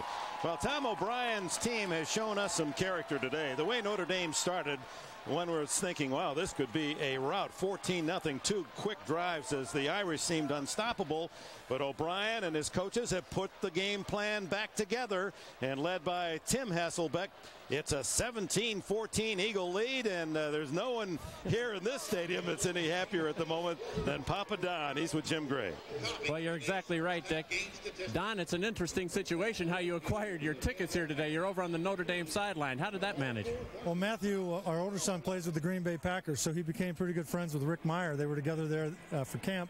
So Matthew got him from Rick, and obviously we got him, and we're sitting in Rick Mirer's seats here. What's your assessment of Tim? I, know he has one more year. You were saying you feel he could be a very good pro player. He, um, I think he's ahead of schedule. Where I mean, I think he's ahead of where Matthew was at this point in his career. So, uh, you know, he keeps it up, keeps working hard. I think he's got great uh, pro potential. Now you played on a Super Bowl team. You won with the Raiders. You played with four teams. Seen an awful lot of football, but this you say is the most difficult for you to watch. Why this instead of Matt or, or, or Nathaniel? You know, it's uh, it, it's just you, when there's nothing you can do when you watch the boys play. I mean, you know, you're with every play, especially when you get this close. You see every move, so it's hard. I would rather be playing myself. Don, good to see you. Thanks, Jim. All right, upstairs to you, Dick. All right, Jim, good touch. Down it goes to Julius Jones just shy of the goal line. And Jones skipping his way to the 25, to the 30, and to the 34-yard line. Just a footnote on Don Hasselbeck. At 6'8", he was a star at the University of Colorado, grew up in Cincinnati. And if memory serves me, I think at one time with New England, he was their emergency quarterback. So some of that throwing talent is passed genetically. At the 34, then, the Irish with a 14 0 lead evaporated. Now battling with 108 left in the half to regain the lead. They go with three wide receivers and Jarious Jackson in the shotgun. Scrambles, throws incomplete. Bobby Brown claims he was held by Scott Bradley, but you're allowed to check that uh, wide receiver until the ball's released. A reminder, folks, coming up, uh, our NBC halftime report on this busy football day. Hannah Storm will be in our New York studios with the college football scores and highlights. A look at last night's NBA action. Also, an update from the Chase Tennis Championships. Uh, concludes the 1999 tennis season. The top women in the world battling at the Garden. That's all coming up at halftime. Second and 10. Getherall to the 40. A six-yard pickup. They've got two timeouts remaining. Less than a minute uh, to go in this first half. The, the Irish have two timeouts. You know, they got to get the, the ball to, to, Bobby Brown. About 12 passes last week. He not, does not have a catch yet today. Fisher out of the backfield to the left side. Three wide receivers.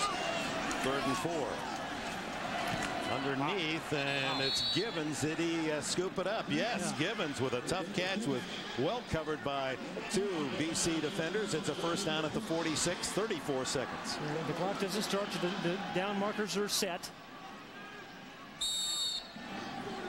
what uh, young Sean Mahan in his first start, the sophomore from uh, Jenks, Oklahoma, has done a good job on the All-America Chris Hovan. This is uh, Givens again.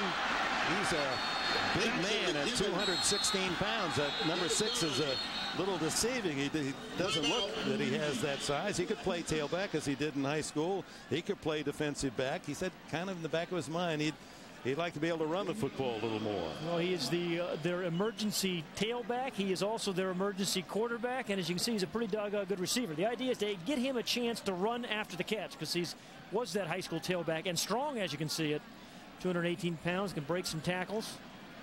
Big fan of, uh, of Walter Payton. Remember, said he still watches tapes of uh, Walter Payton, has him in his dorm room. Yeah, we, we heard that from several players, uh, including the uh, starting tailback for Boston College, uh, Cedric Washington, who said he had a chance to meet uh, Payton's son, who plays at the University of Miami, a freshman there. Changes number to 34. Well, let's change directions here because here's a reminder tonight on NBC. Name's Bond. NBC Tonight. James Bond. A special Saturday presentation of GoldenEye. Tonight at 8, 7 Central, only on NBC. I thought you had uh, copyrighted that. Lynn Swann used to call you GoldenEye, didn't you? I made Lynn Swann an All-American because he had to dive all over the field for my catches. You, know, yeah, you want to talk about one-handed catches. You really stretch hey, You can't become an All-American just catching the easy ones. It's second down and one. Notre Dame at the 45. The clock a factor. Only 18 seconds left, and Notre Dame with one timeout. The blitz is on. Jerry is able to spring free, run, throw. It is Givens at the 32-yard line. Eight seconds. They stop the clock on the first down. And there's an injured Irish player back at the 40-yard line. It's Tony Fisher.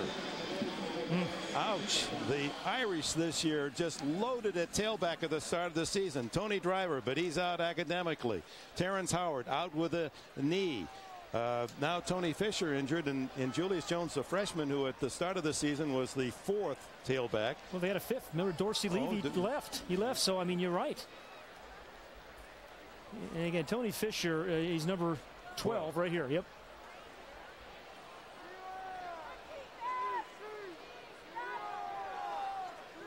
Just landing awkwardly on the, that right knee. And he grabbed his left. I mean, it was a, it was a quick move to that left knee. Yeah, had to, you know, you've gone through it as a collegiate player and a professional player and uh, as a broadcaster. I mean, they're, they're just, it's, it's a, the fate of football uh, just makes it so incredible for coaches to try to figure. I mean, how do you figure that some seasons go by, you don't lose no, a player yep. with an injury, and then there's a season like this at Notre Dame, we have 20 men out with injuries. Well, the Irish last year had very few injuries, and then this year, I mean, today's game, three brand new offensive linemen. I mean, I've never heard of that in the 11th game of the season for a team. Fisher helped off, and uh, hmm. that's certainly not a pleasant sight. David Givens, who's that emergency tailback, may see some action in that position. So eight seconds, and Jarious Jackson in that uh, down throwing it. down and get the field goal unit on. Unless uh, this is a fake. Nope. He got five. He should have gotten five yards. Five free and ones. the flag is down. Boy, that's that's that's a real error by Boston College's defense. Derek Rossi, a freshman from Medford, New York, uh, took the hook. Can't believe it took five seconds though to get that ball snapped and and down. Took five seconds. There's only four seconds left in the clock.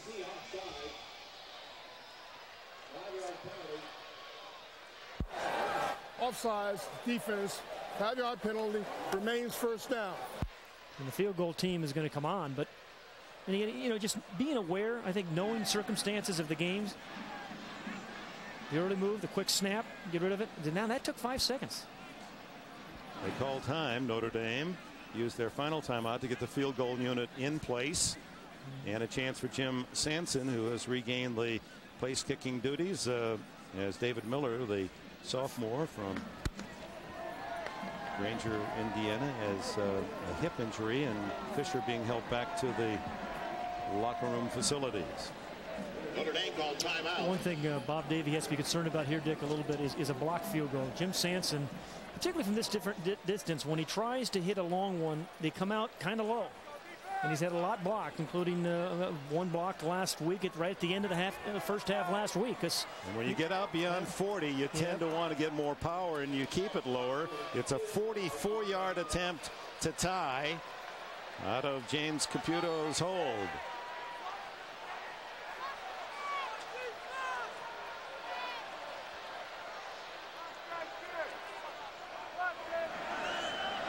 Make it 17-17. It's up. But is it good? Yep. Sanson delivers from 44 with his longest field goal of the year. So the senior sends the Irish back to the locker room, tied with Boston College. What a first half. It's 17 all. Uh, and good for Jim Sanson. Boy, he has been through some uh, ups and downs here, and this was definitely a positive. Boy, at midpoint flight, it looked as if that one was going to be wide right. Bob Davie gives the signal. It's 17-17, Jim Gray. All right, thank you, Dick. With Tom O'Brien, Tom, your team fell behind 14 to nothing. You got on track. What enabled them to settle down and take the lead until the last play of the half? Well, the uh, the interception helped us. We had to make a stop in there. They came out you know, very emotional game for Notre Dame. They came out and took a great shot at us, but our kids hung in there. I think the interception turned everything around for us. Pleased with where you're at? Yeah, I mean, you know, here it's tied, it's, it's even even. Now we got to play 30 minutes. Good luck in the second half, Tom. All right, back upstairs to you, Dick. We now take you directly to Hannah Storm, our New York studios. It's the NBC halftime report. And welcome back to Notre Dame Stadium. The lights are on on this gray late Saturday afternoon. The Boston College Eagles and Notre Dame Fighting Irish, they've been lighting it up. A very long offensive minded first half at 17 17, and quite a comeback for BC. Yeah, you know, I think it was the interception that really kind of turned around. Remember, Notre Dame was up 14 0 and kind of driving, and the tip ball, the interception, to kind of turned the momentum around. But I think Boston College has been a determined team all year long, and uh, they tied it up right before halftime. And a look at the halftime statistics and the yards uh, very close total yards the two teams uh, the one turnover that you mentioned uh, key to the comeback for Boston College and I thought the quarterback comparison was interesting as well. Yeah you know Tim Hasselbeck throwing for two touchdowns uh, you know really a very very efficient first half uh, Jarious Jackson again I think really had to carry too much of the too much of the load. Tony Fisher's injury I think is a key one for the Irish too. And we'll find out how serious that is when we return and see who will replace him it's 17 all. Ready for the second half. We'll be right back. Jim Gray back at Notre Dame with head coach Bob Davie. Bob, the condition of Tony Fisher is what? I'm not sure right now. I'm going to have to check with the trainers. We did a lot of adjusting in there. Um, I'm going to have to check with the trainers and find out. But I think he's going to play in the second half. I think he's okay. If he can't go, who backs up Jones? Julius Jones is a tailback, and we're down to David Givens would have to be the next one. But I think Tony Fisher's going to be okay. All right, Bob. Good luck in the second half. Back upstairs to you, Dick. All right, Jim. And, and watching uh, the Irish warm up, Tony Fisher was running at full speed and appears uh, that knee injury is not serious. You can see the frantic nature of halftime for coaches. They have oh, players boy. everywhere. They're trying to get the defense organized, the offense organized, give them the emotional charge to start a second half. You don't have all sources of information uh, at the ready switch, do you? So deferring on uh, the toss at the start of the game, Notre Dame will get the kickoff to open this second half. 17-17. And Mike Sutphin, uh, Jr. from Ellicott City, Maryland, kicks it off. Really high. Good speed. And good speed. The fullback just uh, catches it like a pop fly, the second baseman, and takes it out of bounds. And it's first down for the Irish and Jarious Jackson.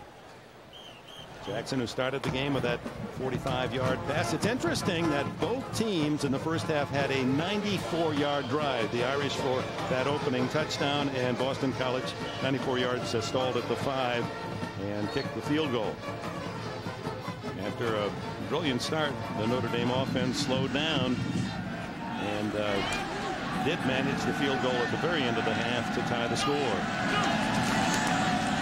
Fisher does start the second half, and he is healthy. Some of the tacklers aren't. As he picks up 12. Right over Pedro Cirino, the free safety. you know, you, you, talk about the, you know the punishment guys take, particularly running backs. I mean, they're always going to get pounded, but. Uh, and then you have an opening hole for a little while. You break through some tackles. Then there's one guy left and, then you just have to run over him. And that's exactly what Tony Fisher did there to Cirino, the free safety. And Cirino, an all Big East safety at uh, 200 pounds. First, five, six. First down at the 40, and it's Fisher again. And uh, like a fresh horse is uh, Fisher. Nine more yards to the 49. And again, Cirino, the tackler.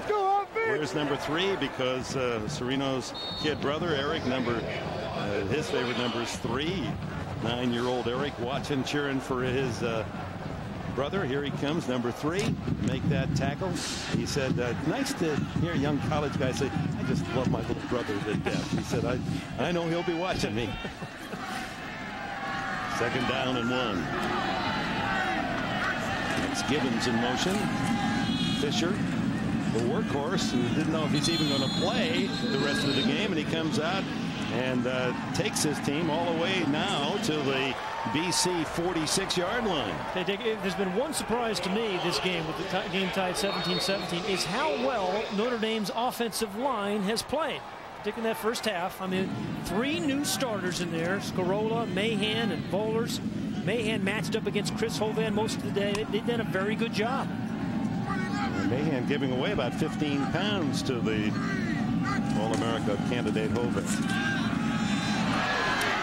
Fisher trying to get outside and is tackled at the 46 for no gain. What a hustling play by Chris Hovan. Remember Tom O'Brien said this guy gives you everything you have he has on every single play. And at that time, they tried. That's not bad mascara job. He does that on purpose. But they try to option him this time. You're going to option a, a, good pass rusher, a good player, number 95. Plays down the line. Uh, that's Tony Fisher's chasing. Look at him hustle. Look at that. Yeah, I mean, you know, good things happen to your team when guys like that, the leaders on your team, hustle. Well, Van, I like the coaches' uh, technology, terminology. They call it uh, great motor. There's the throw to Brown, and Brown has his initial catch of the day and doesn't want to go down. It takes half the defense to finally corral him at the 35-yard line. That'll be a Notre Dame first down. You know, he was the guy that set up that touchdown with the block. Remember early in the uh, in the first quarter, Dick. Uh, uh, Bobby Brown, one of the leaders of this team, had a magnificent game last week as a receiver really just used as a blocker. Now, he catches a lot of hook routes. And the thing is, if you can get turned right after the catch, you have a chance to make some guys miss, as Bobby Brown did there. Future. Four misses. Four misses before Serino finally able to wrap him up with some help.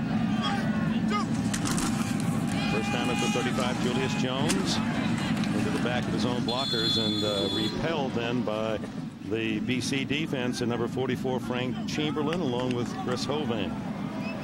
Frank Spaziani, the defensive coordinator, said this this week about Frank Chamberlin. Said, you know, if, if, if, Frank Chamberlin doesn't play well for us, we can't win. Frank Chamberlin generally plays pretty well for Boston College. He's been their biggest surprise this year. Dad owns a Subway sandwich shop in uh, Mahwah, New Jersey. So you got to try that Italian combo. I have. Yeah. Second down eight. Quick toss, and Julius Jones, no handle. Whoa, riskly, he picks it up and is tackled immediately as he does. His number 88, Adam Newman, from defensive end, able to bring him down, and that was a gamble by Jones rather than falling on the ball, trying to pick it up on the run. Well, it was a good pitch. You know, nothing wrong with a pitch by Jarious Jackson. And you're right, at that point, you're probably better off just falling on it. You know, give yourself, you give your quarterback a chance to pick it up. Adam Newman started as a uh, tight end at Boston College, and as Tom O'Brien's had to move a lot of people around, moved into defensive end, and played pretty well in that play. There's a big loss for the Irish now, third down and 24 as they go with three wide receivers from the BC 49.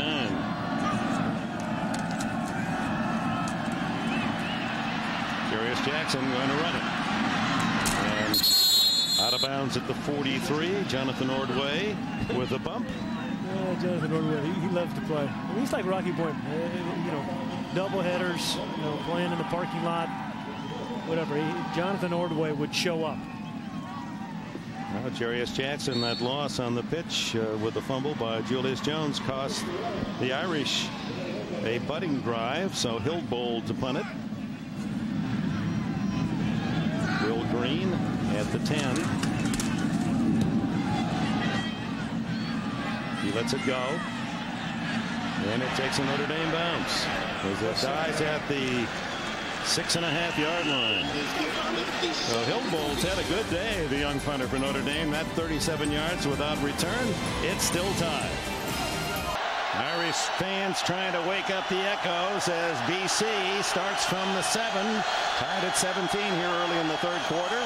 Tim Hasselbeck and he gives to Cedric Washington, and Washington out to the 10-yard line. We talked earlier about the mess that uh, Tom O'Brien inherited uh, three some years ago, and one of the men involved, Washington, said that uh, I was going to leave. It just didn't look like I wanted to play here. And my dad, Lawrence, talked me out of it. He said, You're not going to leave. You're going to fulfill your commitment. Lawrence, his dad, diabetic coma a couple of weeks ago. They were afraid uh, they would lose him.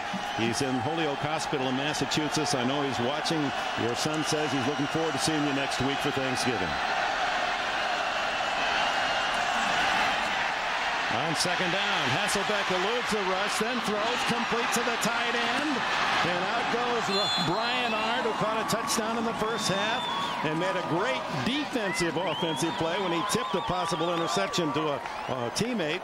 And it's a first down out of uh, really difficult territory. You're right. He's been a receiver and a defender all in one game. The fourth catch of the game for Brian Arndt.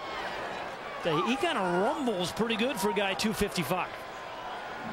Big target over the middle. I'll tell you, tight ends are, are, are, can be a quarterback's best friend. Big targets, good hands over the middle. First down out to the 32 with some breathing room for Hasselbeck. And he's going long to Jamal Burke. He almost made another one-handed catch, but a flag down and it appears Clifford Jefferson will be called for interference. And he was tied up again and almost caught one-handed with a left arm this time. Yeah, same matchup. Jeff, uh, Jefferson on Jamal Burke. And the same call, uh, pass interference on, on Clifford Jefferson. Pretty close coverage. Pass interference against the defense. 15 yards from the previous spot. Automatic first down. And that'll take it to the 46-yard line. BC territory. You know, as I, as I look look at that, I'm not so sure that was pass interference on Clifford Jefferson. Yeah, he's got his left hand. He's got his hands turned. He's got he's got the right to the position of the ball. I don't I don't think that's pass interference on Clifford. It is now.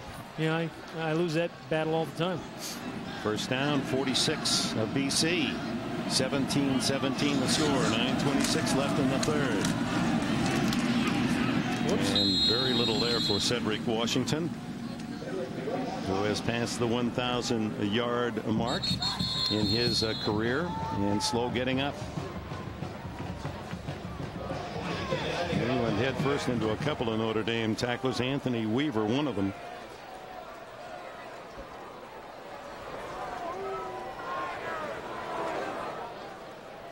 Averaging over 100 a game, but uh, 45 just uh, past the half of uh, this one. So as they attend to uh, the running back of the Boston College Eagles, we'll take this break. Welcome back. Cedric Washington uh, being attended on the sidelines. Hasselbeck goes to the shotgun on second down and eight. Oops. And that'll cost him five as the tight end, uh, Brian Arndt, a bit too eager to get off the line of scrimmage.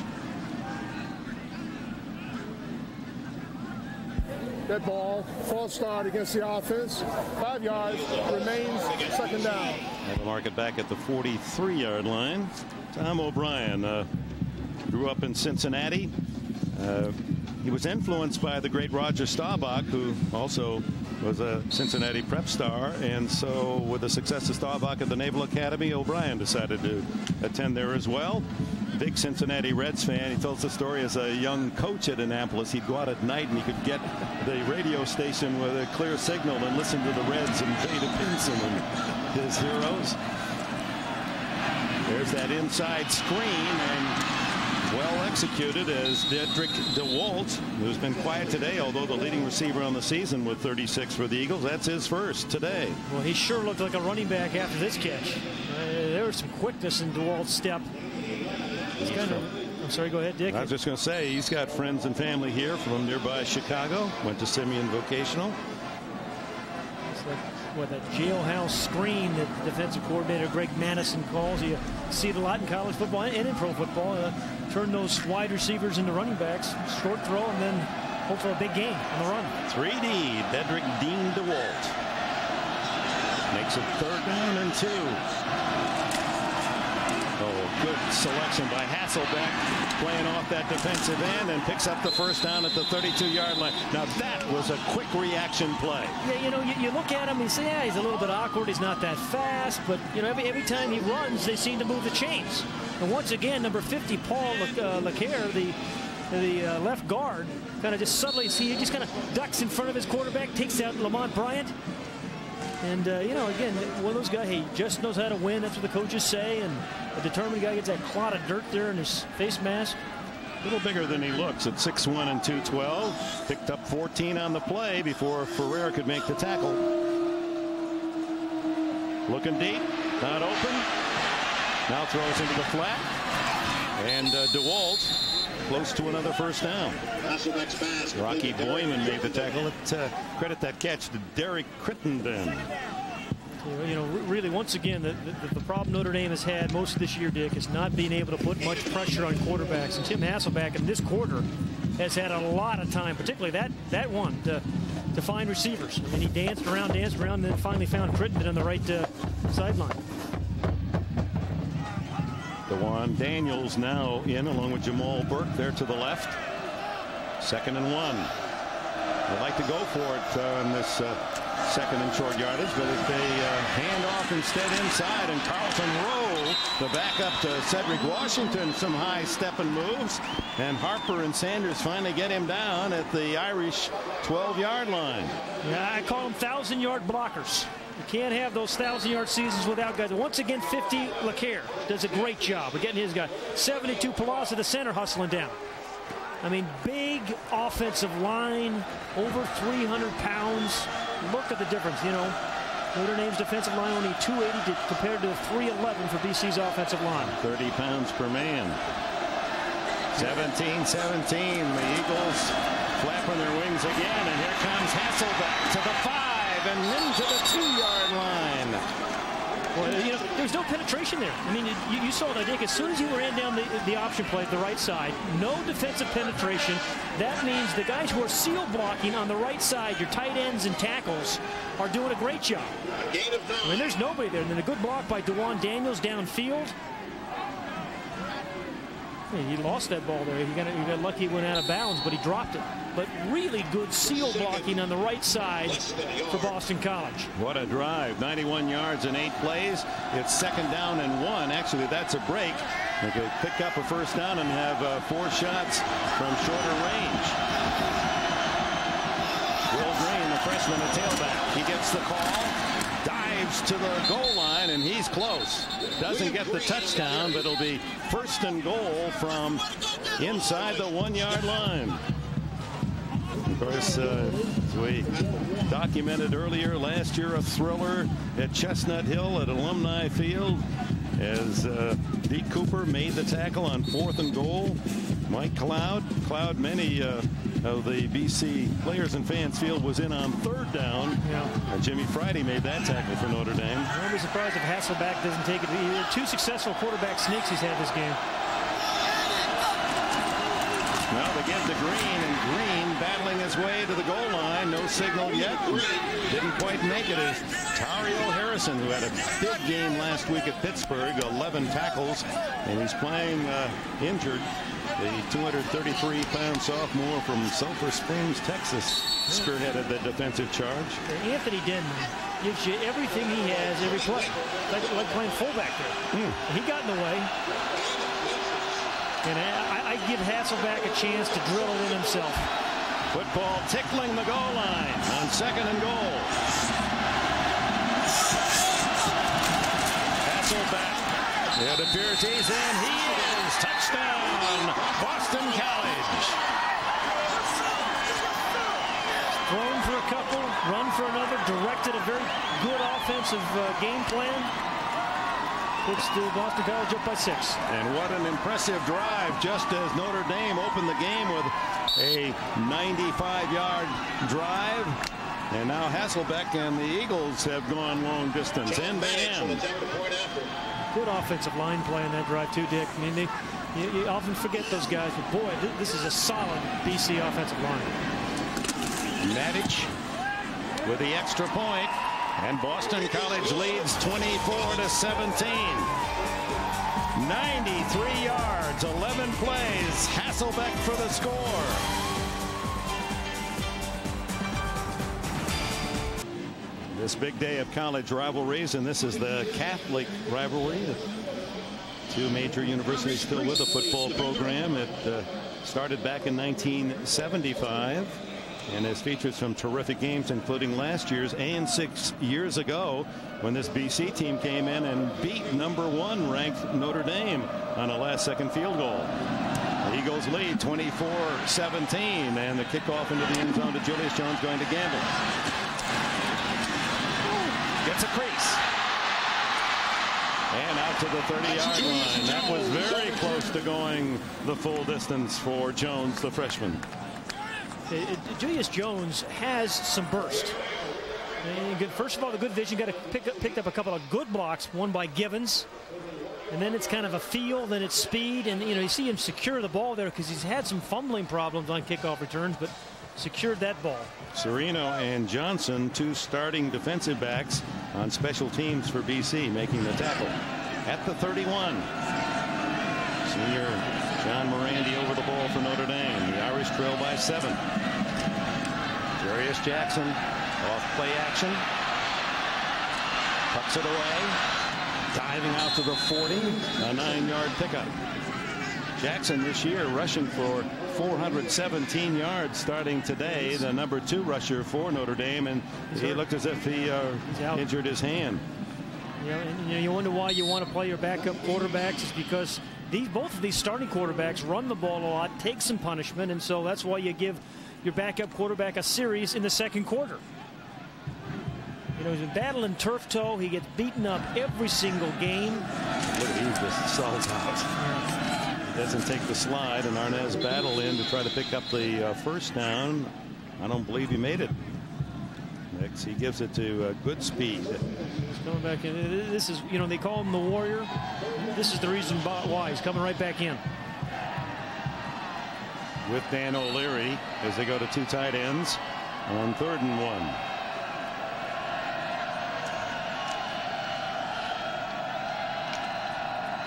Oh, Jarious Jackson. Bad hand and all. He has David Givens, one of the backs, on the left, and uh, Tony Fisher to the right. Hovan almost offside, and Fisher struggling, and uh, that's going to be close as they ran off that left side.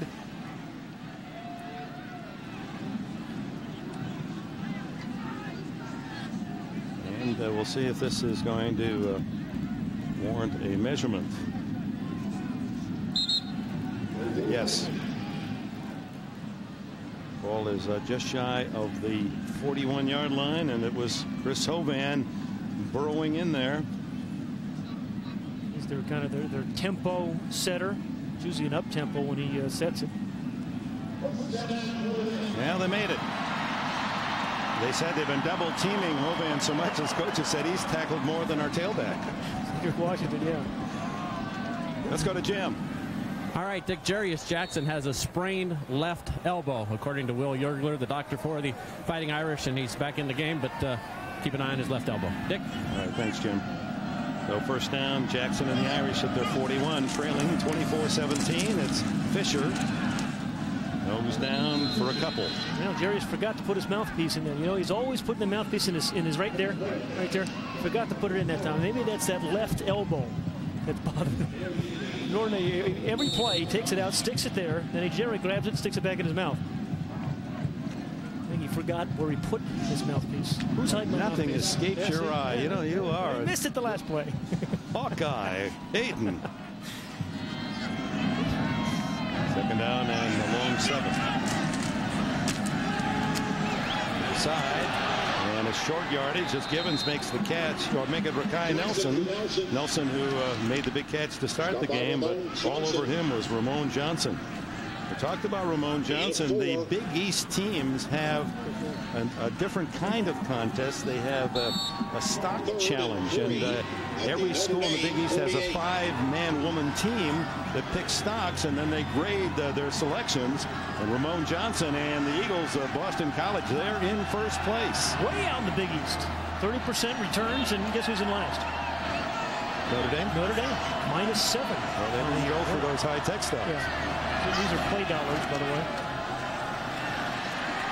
Can't get it off as Bobby Brown tried to come back to help, but Chris Hovan and Antonio Garay were all over Jackson, denying the throw. Yeah, and you see the frustration in Jarious Jackson. The first time I've seen him do it. Uh, you know, as off offensive lineman.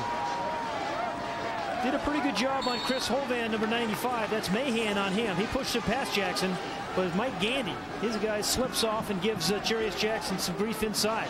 That's a Gray second big play of the game. Hildbold to punt. Ooh, he scuffs this one. Get a good bounce, no? No bounce at all, and it'll be BC with a break on that short kick to start at the 31-yard line. Only 21 yards on the punt. BC in front by seven. And welcome back to Notre Dame. The uh, smiles indicating uh, they know Thanksgiving's coming. They're going to get a good meal soon. All the kids.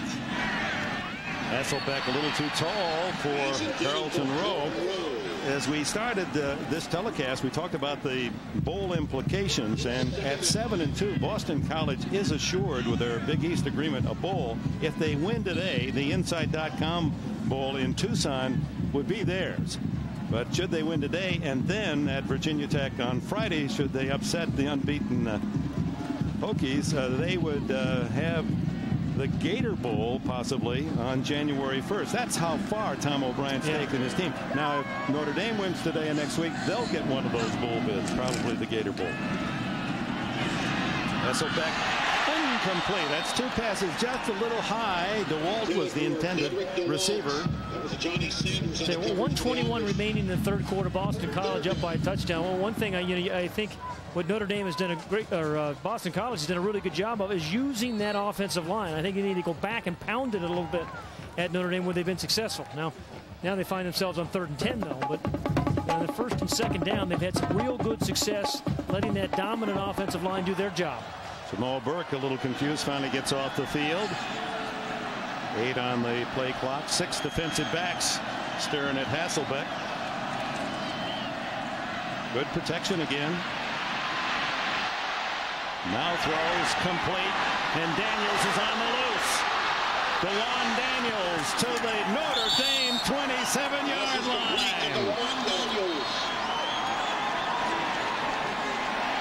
Well, that ball was in the air an awfully long time, and Notre Dame didn't really didn't react terribly well. And a flag is down back in the backfield of Boston College. This one is going to come back. A lot of time for Hasselbeck and perhaps for a penalty reason.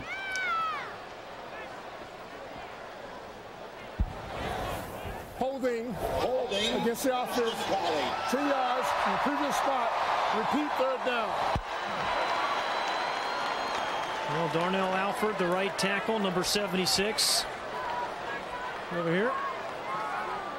Yeah, he's. Uh, that's not holding on him. It was somewhere else. At least early on it was. No, that's not a hold on him. He that is one determined guy.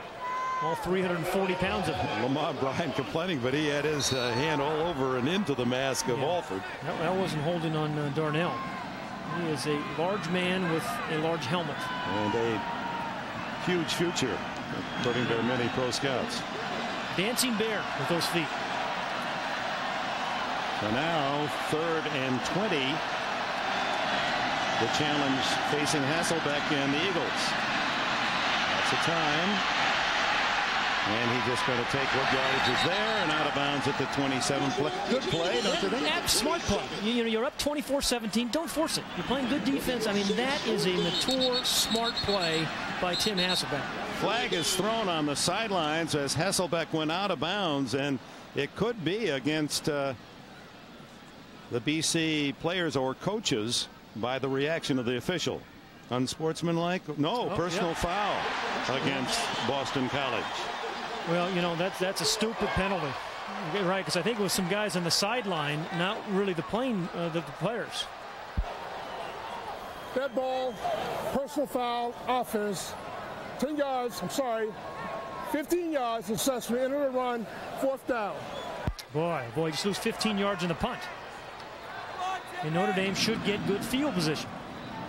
Julius Jones drifts back, and they'll put 10 men up and put the rush on Kevin McMillan, who's had two punts blocked this year. Great time to come after him. Jones standing on the 50-yard line. 38 seconds remaining in this third quarter. Boston College by seven, 24 to 17.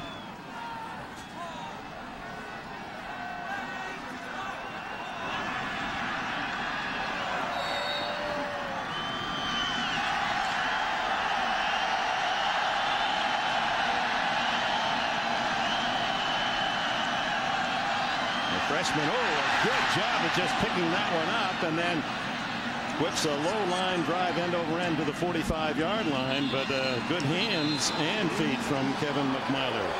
32 yard punt, but that could have been disastrous. You know, you know, every punter knows in this a good shortstop, really. He knows the team's going to come after you. Did the best he could, and what he get 32 yards out of that thing. But stupid penalty on the sideline gave uh, Notre Dame 15 additional yards. It would have been on the Notre Dame 40-yard line instead of the Boston College 45. But I you, this is where the Irish have been so tough this year, playing from behind late in ball games, you know, late in the third quarter here. Trailing by a touchdown. Jarious Jackson on the option. And a yard is all as Chris Hovan tracking his man makes the tackle. Uh, you know, rare did you see you know, guys that size and built like that able to run sideline to sideline. But we've seen three or four plays where Chris Hovan has done that. One of this class of seniors that uh, haven't beaten the Irish, haven't been to a bowl game. That uh, Pat Haden looked too. That, oh yeah, you know. I used to get the towels after guys like that. They would use it. I had to wipe his face off. They'd give me the towel. Well, they only scored the third quarter. The sneak by Hasselbeck that capped a 93-yard drive for Boston. As Fisher able to swing wide and bumped out of bounds at the 40-yard line. You, see the three guys over there hustling. One was wearing a 99 or 98, 88. 85, all those defensive linemen over there on the boundary. This is a team that is determined and it's hustling. You realize, you know, beginning of the fourth quarter, leading Notre Dame at their place, up by seven. This is a huge game for the Eagles. You saw at 98 Mike Willits, fourth year playing at Boston College. He has never missed a single practice. He's been hurt, never missed a day. Getherall Number two for the MVP. According to Hannah Storm in motion. Throws incomplete to Bobby Brown. He was open and just off his fingertips. Jarious a little unhappy with himself on that throw. A rocket. See, it's easier to find the mouthpiece when you put it there. When you put it high, it's real hard to find. You don't see it.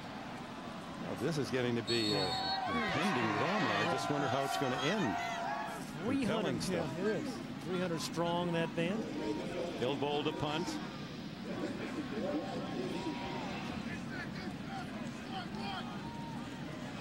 Six punt in their last seven possessions for Notre Dame. Not a good statistic. Lifts it high. Green lets it go. It, no, it is not saved. He was on the goal line. Uh, Jerome Sapp, the freshman safety, or is he? Now look the way the official threw his bag that um, that was going to be a touchback. Here's Sapp, number 20.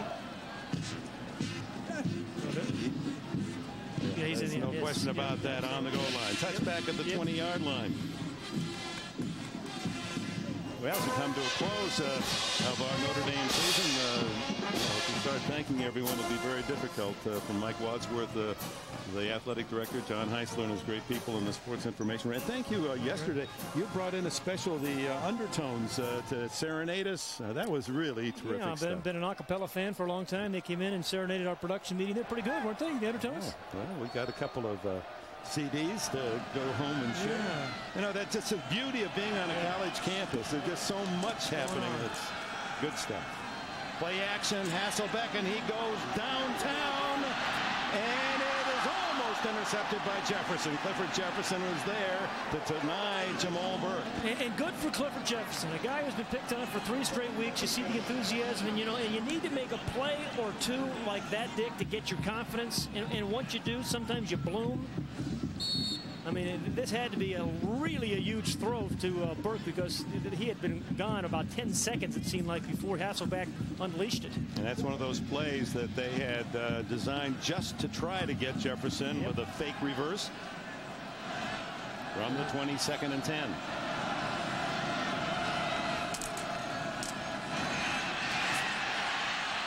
Hasselbeck with the keeper as the first down as he's out of bounds at the 31 yard line. This is an efficient quarterback job as I've, uh, as I've seen this year, Dick, you know. Not necessarily sensational, but, you know, he's made all the plays when he's had to make them. Team up by seven points, playing away uh, against Notre Dame, you know, the, the two Catholic school rivalry. You know, have them on the ropes a little bit. You have to come up with a play. You don't force it, but you're, you're you know, nimble enough to pick up a first. Up to the 31-yard line. 14-21 remaining in the fourth quarter, and Boston College leading 24 to 17. And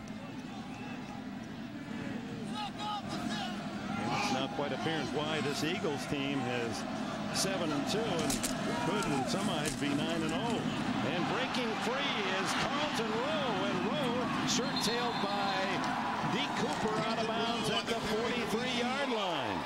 I, I, think Boston College offensive line is really beginning to wear Notre Dame down. I mean, they've been out there a long time. There's Palazza, the center, their co-captain. I mean, these guys up front. I mean, there's 66. Right, look at the block there. That's the right guard, Paul Zukauskas. And I, I, tell you, you know, they, they, we said they're nimble enough to kind of pull, not just to drive blockers, they get out there and move a little bit, but Zukauskas and Alford and Palazza, McCare, Cook. 26 yards produced on the last play. Now Hasselbeck, quick throw, complete to the tight end. Brian Arndt, and Arndt another first down and more. Finally knocked out of bounds at the 25-yard line after running through a couple of tackles. It was actually it was that fullback who. Oh, Ryan Burch. That's a, yeah. That is an upset. The fullback touched the ball yeah. for mark it down. Yeah, well, Haden? Yeah, once every lunar eclipse they give him the ball, and you know he blocks, he blocks, he blocks, and he was right out there by the tight end. They were right in the same zone. Fullback in front of the tight end. You know, they don't hand him the ball much, but that's his 10th catch of the year. That's a, a common uh, number for a fullback, 96. you think he may have been a defensive lineman in a prior life? So another first down, and it's Green, the freshman, trapped right at the line of scrimmage. William Green on the carry. Back to Birch. He, they had him at defensive lineman as a freshman, and they finally moved him to fullback, and they just kept his old defensive uniform number, 96. Even the coaches say, you know, it's kind of embarrassing to have yeah. our fullback wearing 96, but it's his, and he wants to yeah, keep it. Maybe the Bible say, gosh, I really tried to talk about it, that number. The Eagles with the lead, and the ball driving at the 25 of Notre Dame. Hasselbeck keeps it again, finds the crease, flag down as Hasselbeck's in the end zone. Will it count? Well, we may have a hold here. Holding Boston College, so Hasselbeck's effort for naught. That's big. I would have given a two touchdown lead at the beginning here of the fourth quarter. I don't know whether they called it on Darnell Alford, the uh, the right tackle, number 76, but what they put a pretty good block on his man. Holding against the offense. 10 yards assessment, previous spot. Repeat, second down. There's a large, quick man. Yeah, right there. There's the hold. Yep. He gets a little pull down there. That was a. But again, look, here's 50 again. That's uh, who's everywhere. Second and what, 20? Yeah, second and 20. And that was a 25-yard uh, touchdown nullified by the penalty. So back to the 35 on the penalty.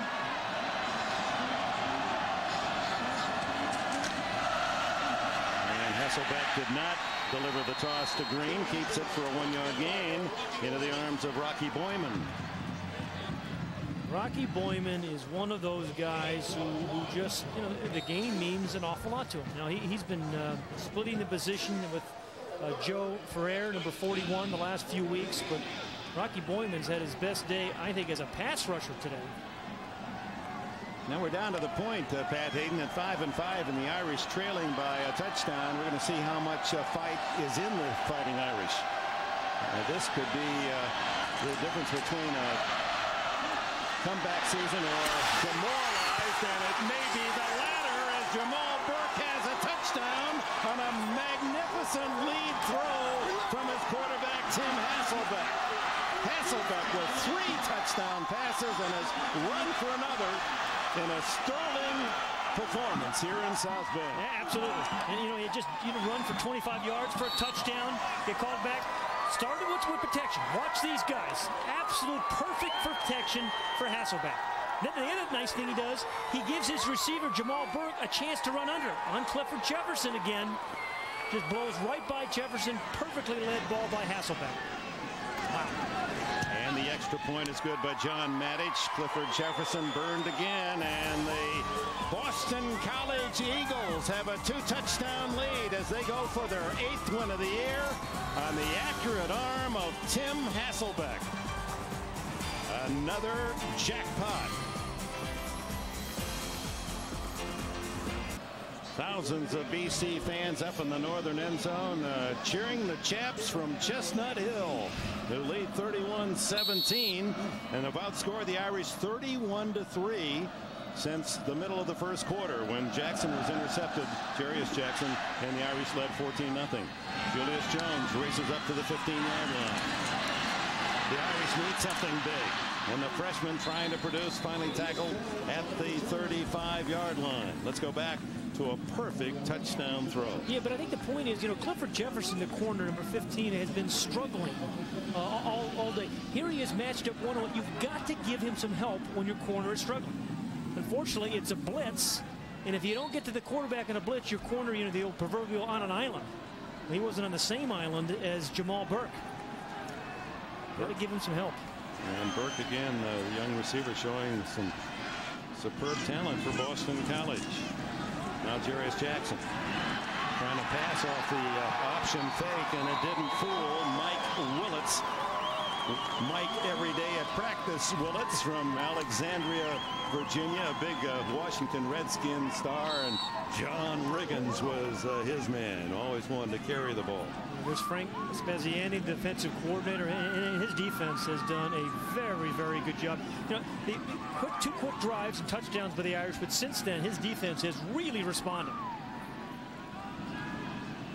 Second down 14 on the sack of Jarious Jackson, the 30th sack this year suffered by Notre Dame. Good throw and a sliding catch by Bobby Brown, but it's short of a first down. A gain of about 11 out to the 41 yard line. They should be in their hurry up offense, really. They 11:30 remaining in the ball game. They trail by uh, two touchdowns, so they need to get in and out of that huddle.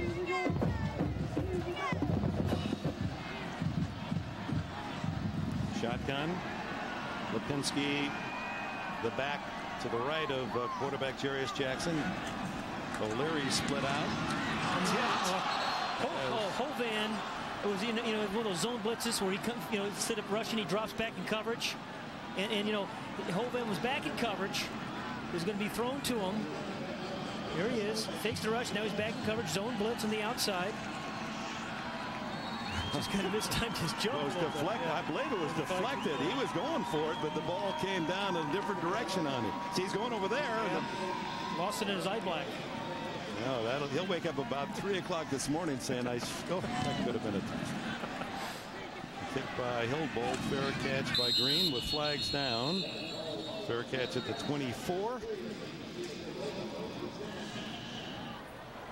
Irish now punting for the seventh time in their last eight possessions and a penalty. I would guess BC will decline that. Position at the 24. Illegal motion against the kicking team. That penalty is declined. It'll be BC's ball first and 10 at the end of the kick. You know, well, we'll get back to the eye black of Chris Hovan and why when we return to Notre Dame. Boston College playing tough 31-17. I finally got it figured out what I did wrong. I wanted to be a tough player. I had fat cheeks. I had a baby look like yeah. that. I should have done this. That's Chris, Chris Hovan. Yeah. See, you're going to be an All-American. You can't have a baby face, so what do you do? You come up with a little style. Oh, is that style? Is that what that is? Yeah, that's. It makes wow. him look tougher, though. That's. You, you know, well, you know, the other shot, he looks like he's about to carry out your groceries you know, to your car. Thank you very much, Mr. Haden. 31-17. Hasselbeck not staying on the ground, and Jefferson almost with a pick. Well, that's the thing about that position, Dick. You know, you, you can give up a couple of touchdowns, but you're still out there. You still have to play, and you got to respond, you know. That says something about Tom O'Brien willing to take some chances with a two-touchdown lead. Yeah, a little bit surprised, though, as good as his offensive line is playing right now. I mean, uh, grind out a few first downs if you can. The double tight end set. Both their tight ends are pretty good blockers, too. The scores on uh, this big day of football, Florida State and Florida in that interstate battle. Fumble. And Hasselbeck, who has been in the right place at the right time with the right stuff all day, recovers. And the right decision. Again, he didn't try to pick it up, make something happen. You know, you know you're up by two touchdowns, just fall on it. Perfect pitch. Again, there's not much penetration there, as you can see. Perfect pitch there that Rose should have uh, gathered. then you know when you're up by two, you just get on it and uh, live for another day. But I know uh, the fans back in one of the great cities in this nation, Boston, would rather I not mention this, but they did lead Miami 28 to nothing late in the third quarter, did Boston College, and lost. And uh, so a 14-point lead. Oh, you're not very much fun. The throw incomplete and good coverage by Sanders. Uh, Johnny Sanders, the senior, able to reach in and deny the tight end Robert Ellis. Johnny Sanders, his last game here at Notre Dame Stadium, and uh, he is number five. He was ready to leave after in his freshman years. Didn't think he could handle here at Notre Dame. Had bags packed. And Jimmy Friday, a linebacker a couple years ahead of him, convinced him to stay. And he said to us a couple weeks ago, it was the proudest thing and the best thing I did. Well, they only had the ball, the Eagles, about a minute. Three and out. And a good solid kick by McKyler. Here comes Julius Jones. It can't quite outrun. Ordway again? Yeah, Jonathan Ordway, and only the speed of Ordway denied what could have been a yeah. lengthy return. Irish have it. Just under 10 minutes remain. Welcome back. You old timers will remember there's a connection, coaching connection, Boston College, Notre Dame. How about the legendary Frank Leahy. He coached at BC two years, starting in 1939. 20 wins, two losses with the Eagles. And Leahy came here to South Bend and coached the Irish 11 years, six unbeaten years, five national titles, 39 game unbeaten streak in the late 1940s. Frank Leahy, one of the great coaches all time, and his sculpture outside Notre Dame Stadium on the western side. Tom O'Brien at age 51 resurrecting the Boston College program. How big would this be? However, there's plenty of time, 10 minutes to go as Jarious Jackson fires down the middle and a sliding catch by Bobby Brown. Well, he has that one patented. Yeah. Just, you know, the low ball that can't get tipped, can't get picked off. It's kind of a, one of those skinny post patterns, and just throw the ball away from the defender, throw it a little bit low, and let Bobby Brown go down to get it. They throw it mostly to Joey Getherall. This time he's looking to his left to find Bobby Brown. Good passing lane in there. Right off, it's almost a triangle, a triangle of defenders. 21 yards to the 40 of Boston College.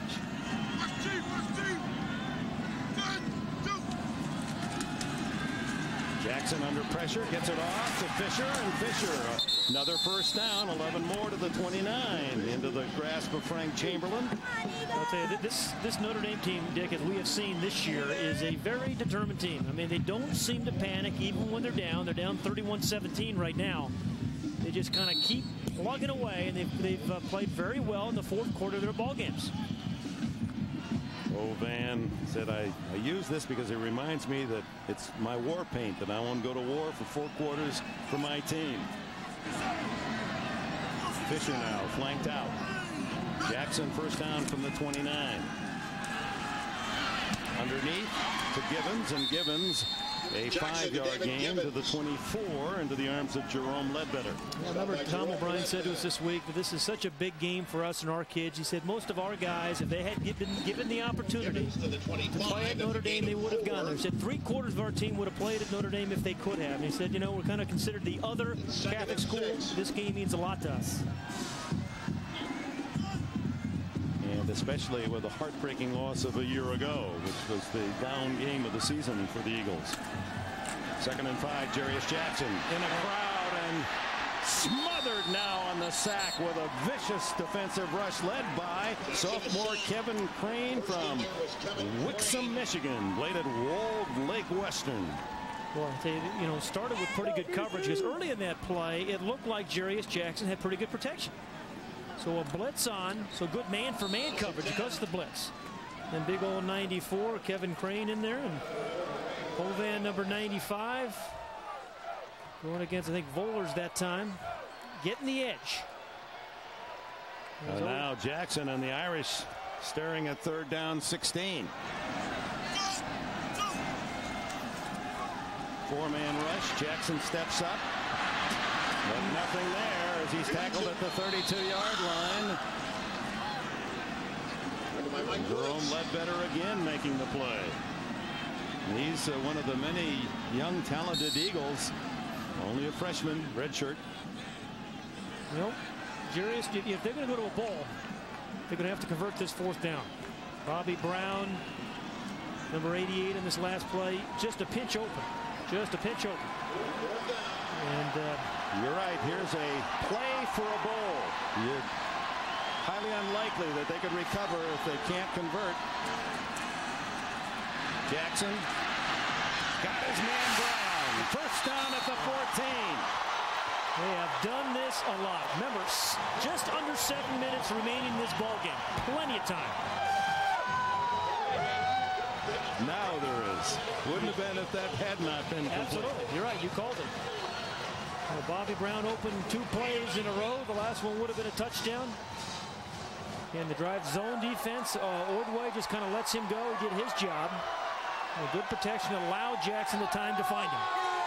At the 14-yard line, 6.43 left. Good speed out to the right side. Leaves only Fisher in the backfield. Fake to him. Wide open is good speed. Touchdown. Flag down, but we'll see if it counts. Boy, I thought Ramon Johnson was going to get there. That ball was in the air. It looked like a punt, not a pass. The flag thrown. Yep, illegal man. Oh, my. Ineligible receiver downfield. Well, it's the hazard of a quarterback who scrambles as much as Jarious Jackson, and you get an inexperienced lineman. An eligible receiver downfield against the offense. The penalty is five yards from the previous spot. Remains first down. See if we can find out uh, how it all developed. As Jackson fakes, and you never know when he's going to tuck it away and run. He's going to be downfield yet. Where's the guy downfield? He's an eligible receiver. He's an eligible. I don't see anybody. Those are all guys downfield are eligible receivers. Unless I, I missed something. There wasn't any linemen downfield. Perhaps one of the uh, eligible receivers was covered. So Jackson goes to work on first and 15. Underneath to the tight end O'Leary. And he's tackled inside the five. It'll be first and goal or very close to it, right at the four-yard line. Every time you think you have them knocked out, you don't. I mean, team after team. Dan O'Leary, the high school teammate of Chris Hovan. Yeah, that's a heck of a catch by Dan O'Leary. He has really played well the second half of the year for the Irish. The 11th catch of the season that spots the ball just shy of the first down. Brings up third down. As the evening air chills here in northern Indiana. And the Irish trying to heat up their offense and recover from 14 down with just 6.18 left. Both teams have all timeouts remaining.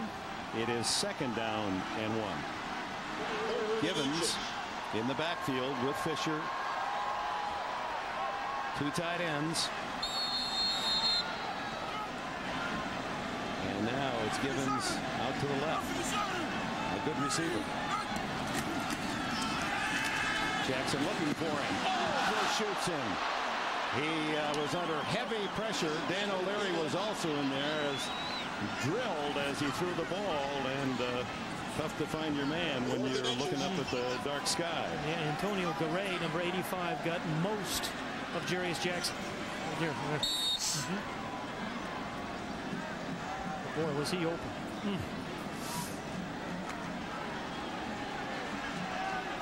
Every week he's gone through that. He's needed that 235 pounds away. He's been belted around. And uh, flags fly. Appeared that uh, the Eagles jumped first, and then a Notre Dame lineman reacted. Boy, instead of going third and one, if, if it is against the Irish, third and six, I mean, that's a critical penalty if indeed it's uh, against Notre Dame.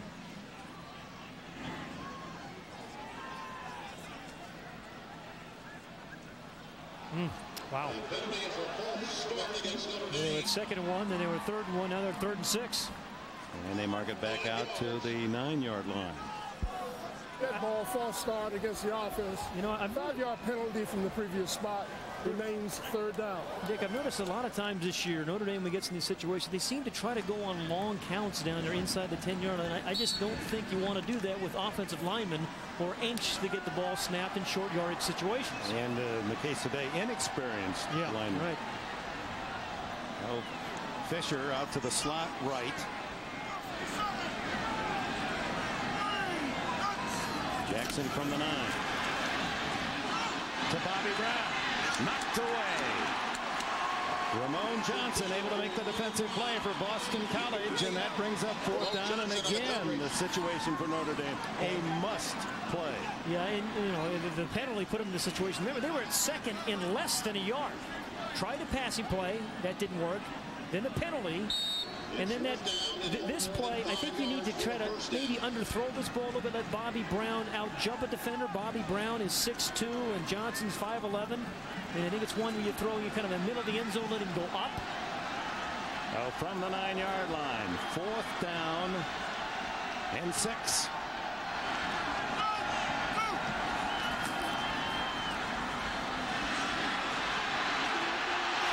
He's open. Fisher, touchdown.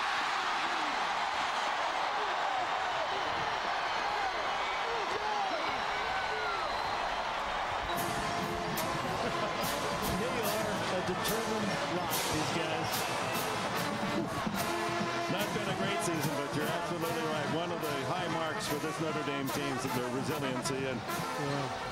They're clearly not one of their talented teams, but boy, they, they play uh, hard. They play hard. They are determined, and God love them. They just don't quit. Now the extra point by Sanson, and these are critical too. Notre Dame's missed four on the season. Oh no! Number five that's hit the, the left upright. That's the 16th missed field goal of Jim Sanson this year. Missed extra point. Excuse me. Missed extra point. 16th missed extra point. So oh. they make it all the more difficult, Notre Dame. To tie, they have to score another touchdown and make a two-point play. Dead center on the left upright. Sanson misses for the fifth time an extra point, Notre Dame this year. So Boston College leads 31-23. Sanson's extra point hitting the upright may have been deflected. Uh, we'll take another look at it. Sanson to kick it off. Boston College not expecting an onside kick. They have only five men up. And William Green deep. Along with Dewan Daniels. It's to Daniels' side at the three. And he's out across the 25 to the 26 yard line. Boston uh, offense comes on the field. Let's check that extra point. Well, let's go back to the touchdown first, and then we'll go back to the extra point. Uh, again, the fourth and four. I mean, the, the determined, resilient Irish. Find uh, he finds Tony Fisher, who's developed in a really good receiver uh, coming out of the backfield for the touchdown. This extra point to put him down by seven. Good snap, good hold. I think it's hit. It's deflected. Yeah, it, that get pushed left. So that really wasn't Jim Sanson. A lot of inside pressure because you know the ball's kicked, you know, goes end over end, and then you're going to see it kind of uh, wobbling out of there. It was, I think, it was deflected by Mike Willits. But they, as you mentioned, Dick, uh, makes means the Irish have to hold, score, and make a two-point conversion.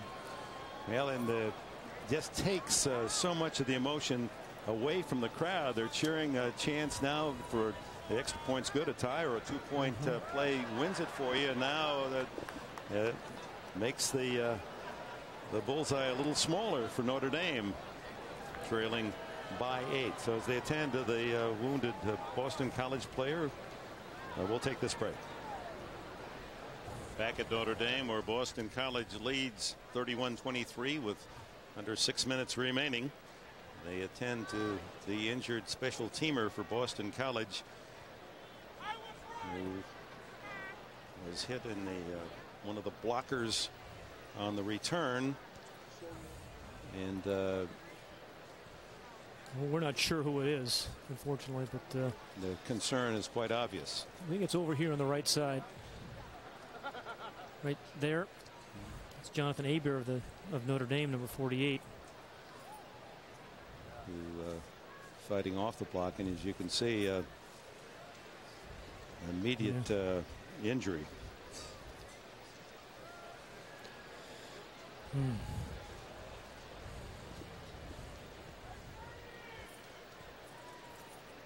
Obvious concern of all.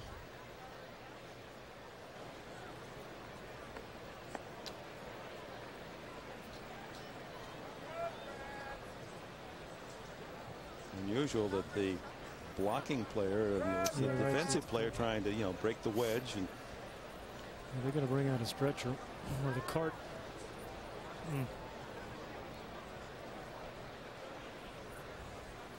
So, look at here. it's like a knockout punch. It's a. Uh, I think all players know that you're always at risk. It's kind of a precarious thing, and Well, that's good. There's a movement. And uh, as everyone hopes for the very best, uh, we must always remind ourselves that fortunately in today's football world, all precautions are taken. And while all of this appears to be the very worst, actually it's for the very best. There were times when athletes were handled uh, just abusively when they were injured. It was almost like, well, get up and run off Mhm. the field, no matter how seriously you may be injured. All precautions uh, are taken, and I know Jim Gray will be uh, there to get the first word that uh,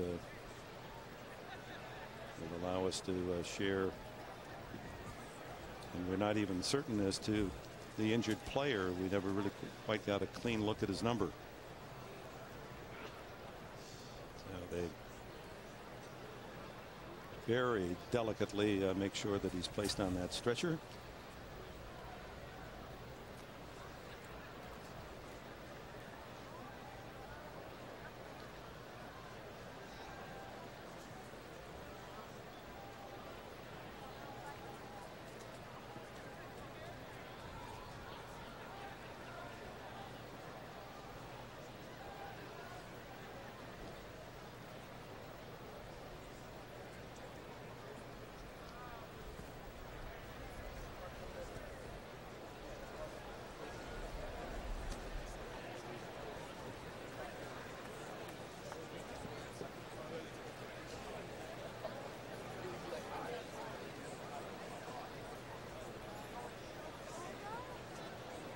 The helplessness of, of all, isn't it, that uh, intensifies uh, these moments.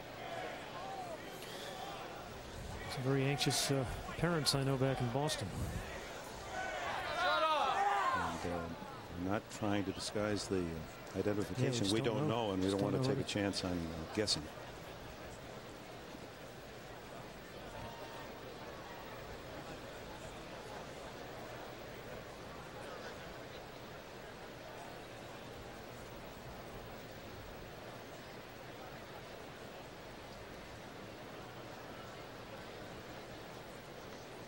And uh, the the one obvious uh, rule here is to take one's time. There's no no hurry. Make sure it's all done right.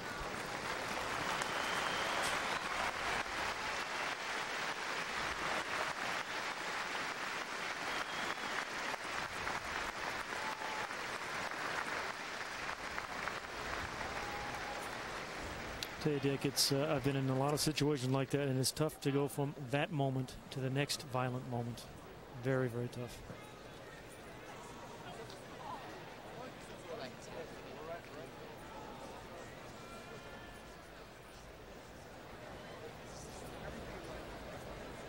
Boston College players, uh, most of them off the sidelines, uh, not giving plenty of room, but obviously uh, they're concerned for their teammate. And we will do our best to get a uh, get a report. Jim Gray's in the area. He'll be able to identify the injured uh, Boston College player.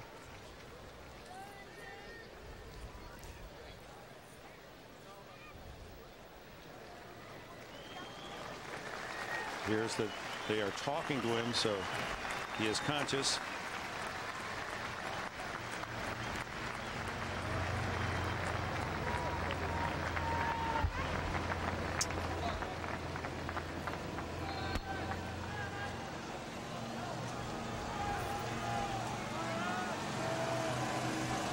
understand that they were saying, uh, go get him, Todd. And uh, 53, we saw five is Todd McNiff.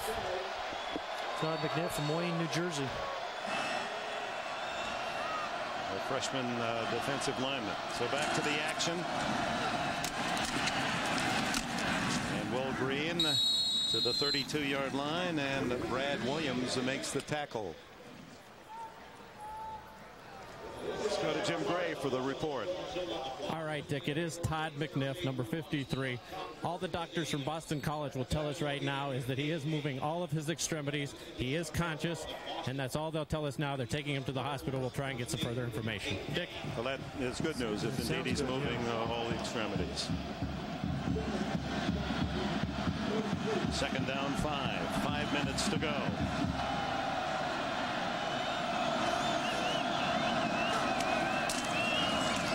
Green again. Good job defensively. Bryant made the tackle, but it was Lance Legree who invaded the backfield and uh, misdirected the play. Well, remember in, in, the prior series, long before the injury, Boston College only had a three and out, only used 68 seconds. Now they're, they're facing another three and out again at a critical time when you have a dominant offensive lineman. But, but uh, Lamont Bryant, in his last game at Notre Dame Stadium, makes a critical stop. Loss of a yard, third and six. 423, 422 left. Tim Hasselbeck. Into the flat to Birch, the fullback, but he had to leave his feet to make the catch and does not have the first down at the 34-yard line. So uh, with, with under four minutes, Notre Dame will get the ball back down by eight points. Back goes Julius Jones to return. And freshman punter Kevin McMyler. A poor snap last time, Dick. That's right. It, not a one hopper. It came back on two or three.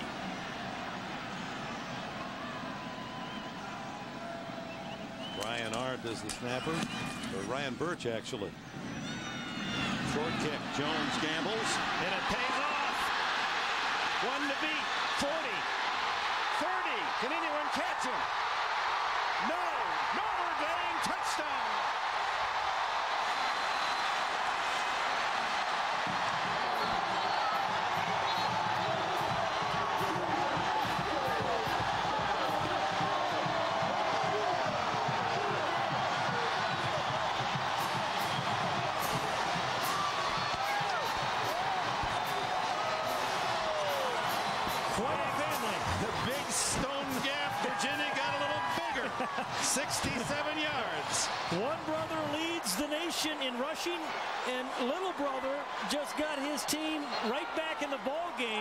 With a 67-yard return, and the Irish will be attempting their what? Their fourth.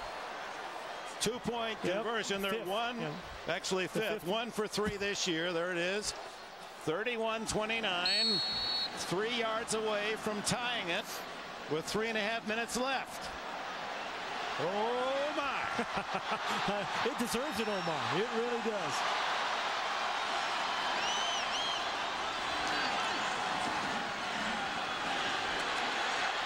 Lots of time. Now the throw. Incomplete.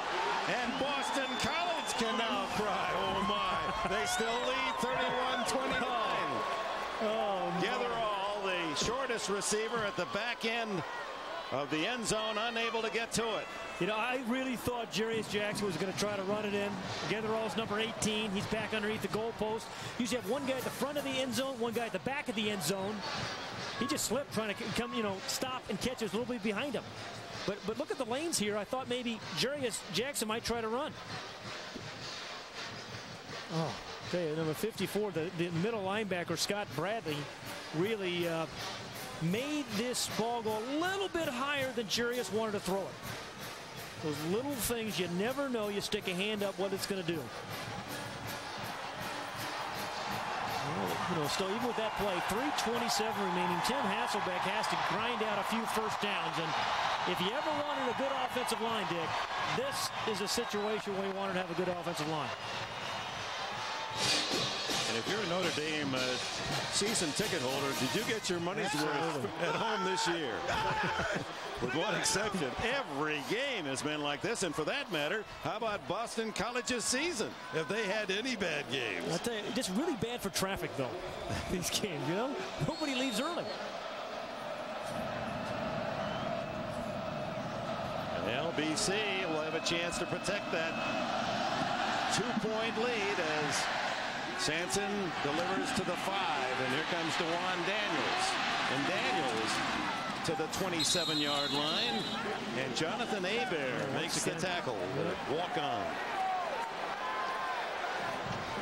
Well, there he is, the walk-on who's uh, blocked a punt this year. I believe this is his last game at Notre Dame Stadium, and awards uh, the job, practices, 3.8 GPA. Eagles have their own uh, Jonathan Hebert and John Elvis Colantrelli, a walk-on senior linebacker from Vero Beach. They took him on the trip because of his play, his contributions.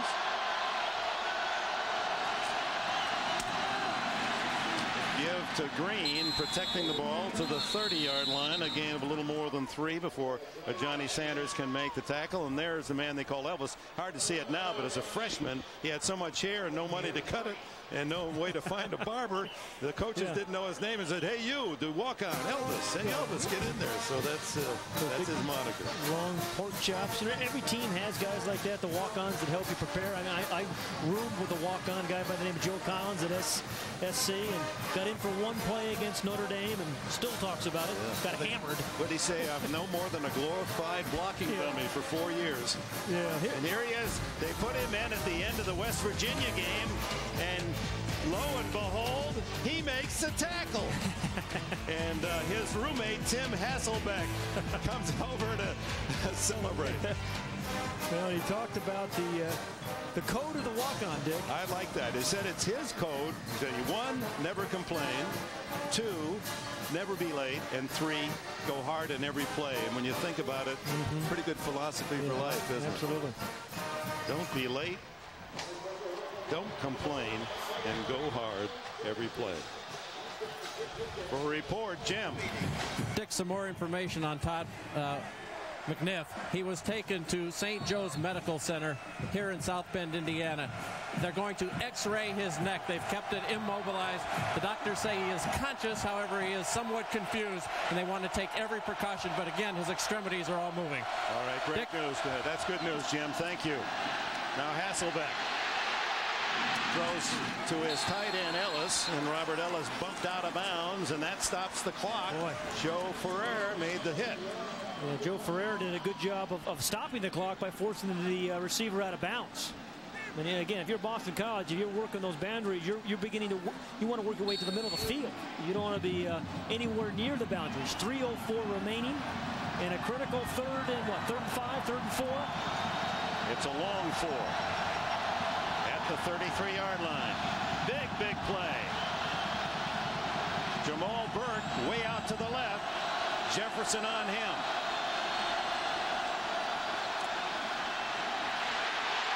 There's a takedown. It's a penalty against Boston College. This one's going to come back as the fullback Ryan Burch. First down yardage to the 48. But uh, yeah, Brad Big Brad Williams was tackled as he went in on the quarterback.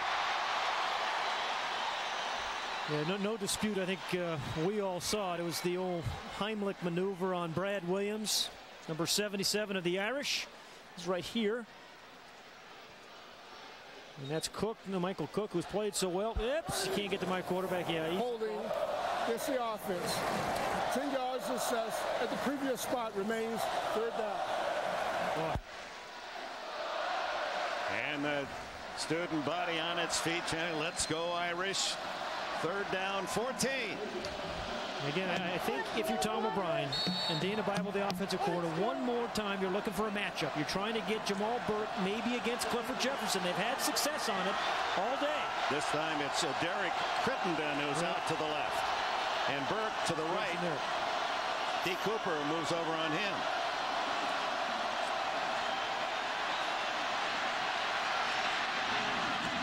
Complete, but short of the first down to the tight end, Brian Arndt. Boy, it's going to be just short if it's short.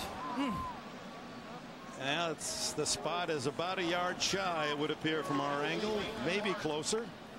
What a gun by Hasselbeck on that one. And Brian Arndt, what, was that five catches now for Brian Arndt, the tight end? Five indeed. Six. Yeah, one touchdown catch and and one big play on the deflection yeah, that saved a possible interception. That was a tight throw. Good coverage there. I think it was Donald Dykes on him. Mm -hmm. I think it's just going to be short. Oh, boy. Remember the Navy game? Notre Dame had made it by, what, an inch? And, now they stop them by three inches. Well, you've got a punt here. Yeah, and Julius Jones back on the field. And very few seated now here at Notre Dame. They're on their feet as it comes down to the 244 mark. Well, you, you got to force a directional punt. You can't punt it just directly to Julius. Don't make him move either right or left. And these gunners down here, they've got to have some coverage. Those wide guys. One of them's uh, Ordway. Jones a punt return for touchdown 67 yards the first in three years for Notre Dame.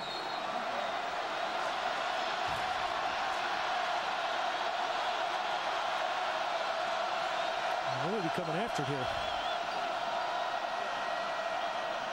Kevin McMyler, freshman putter.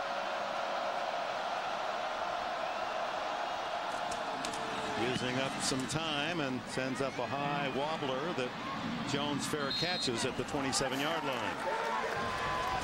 36 yard punt. Bob Davie's Irish with 2 minutes 18 seconds to get into field goal range. Return a moment ago was a 67 yard stick uh, by Julius Jones. Good seam right up the middle. Sapp, number 20, puts a good block, a little stop and go. Still carrying that ball in his right arm. They'll, they'll, they'll change that at some point. Make sure he changes to his left arm. He always carries in his right. Now it's up to Jarious Jackson. He got one more big comeback win in him.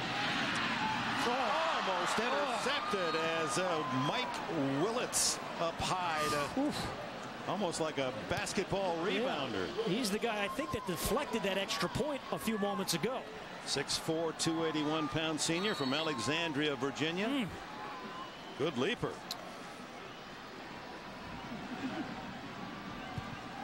2.11 remaining in the ball game. Two point lead by Boston College. Mm. Givens and Getherall to the right. Brown to the left. Fisher in the slot. Over the middle. Intercepted. It is Pedro Cirino, the tri-captain. He said, I've been aching all year. I've had some chances and no interceptions. I can't believe it. Well, he came up with a big one today. Isn't it interesting? Free safeties the last two years have come up with a big play. For Notre Dame a year ago, it was Deke Cooper. And for the Boston College Eagles, their four-year starter, tri-captain, Pedro Cirino, reads the eyes of Jarious Jackson and seals the fate, apparently, of Notre Dame. His sixth career interception, the senior from Jersey City, St. Peter's Prep. Boy, he, he had to read. That was that was a either a poor route or a poor throw by Jarious Jackson. Yeah, Fisher hadn't even looked for no. the ball. Boy. So the Eagles have it at the Irish 25-yard line. Now Notre Dame has only two timeouts remaining. Green for about three, and Notre Dame will spend one of those timeouts at the 159 mark.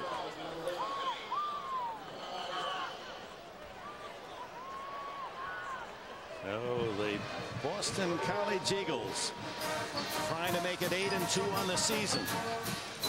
Assuring themselves of the at least a date in Tucson just before the new year in the Insight.com Bowl. Well, the extra point that was deflected by Willets, number 98. I mean, that really changed the entire complexion for the last few minutes. At the risk of getting a bit ahead of ourselves, uh, they're talking about Oklahoma in that Insight.com bowl. Will be uh, BC's opponent. They've got Virginia Tech on Friday, and uh, unbeaten Tech defeated Temple today, 62 to seven. That's going to be an interesting ball game. But I think really what Tim Hasselbeck is concerned about right now is getting this 159 remaining the game off. Career highs for Tim Hasselbeck, 272 yards. Is that uh, any good for a kid that wanted to go to Notre, Notre Dame, Dame. really considered Yeah. Notre Dame, then thought, you know, the offense isn't my style. I'm more of a drop back passer, and elected to stay home at Boston College and join his brother. Just hold on to the ball, you tell your backs. Green, the freshman. And uh, that is a bit risky. A Yeah. first year player with uh, lots of energy, a lot of Yep. adrenaline, and might go for the extra yard where the defense can uh, force the fumble. Yeah, and, and not securing the ball. I mean, you love the enthusiasm, and he's going to be a very good player. He's had some good short yardage runs today. But goodness, hold on to that ball with uh, both arms. Now, Notre Dame uses their last time out. And uh, with a first down, it's third and less than one here. They can uh, seal the game if they can convert. One minute, 49 seconds remaining. No timeouts for Notre Dame. Now, the job Tom O'Brien has done, we have talked about it, Dick. Three years ago, this team was a mess. And he has absolutely done an incredible job resurrecting the program at Boston College. And just to uh, complete some business today, Chevrolet players of the game.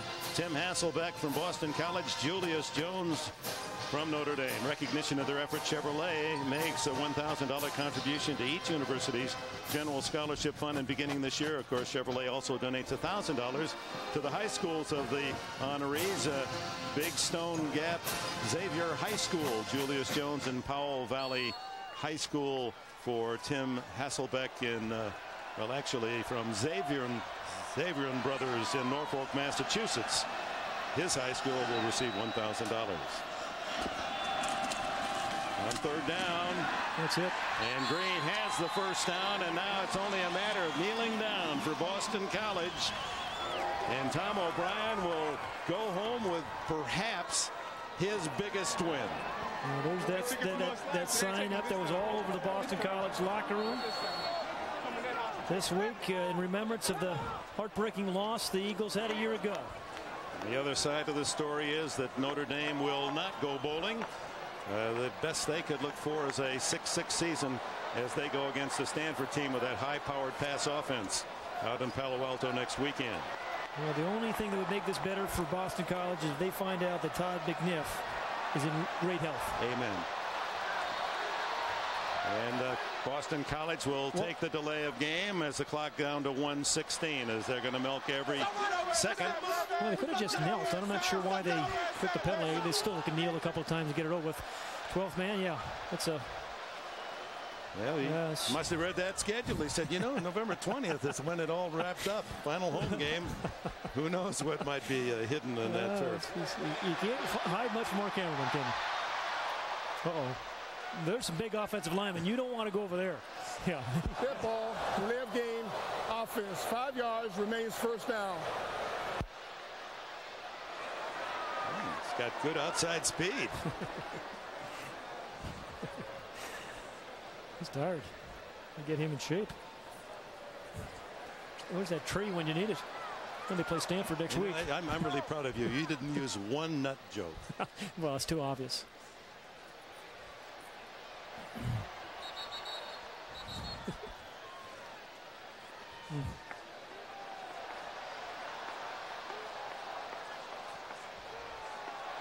At the 10. At the 5. First and goal at the 2. Nose to the goal line. Oh, my. This is your favorite play of the quarterback. Hasselbeck with one kneel down to bring up second down. Tom O'Brien must be wondering what's all the noise about. Here's a coach about to enjoy one of his biggest, if not his biggest win as a head coach.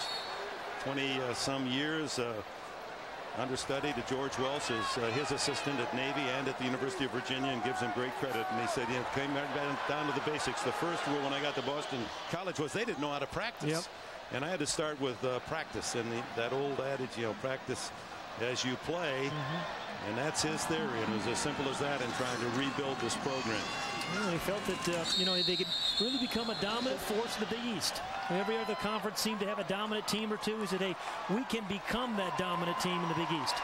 And as a coach at Virginia, playing Virginia Tech every year, it won't be a new experience for him going uh, down to Blacksburg. 20 seconds. Look at these uh, Boston College kids. How big is this for them? Look at them.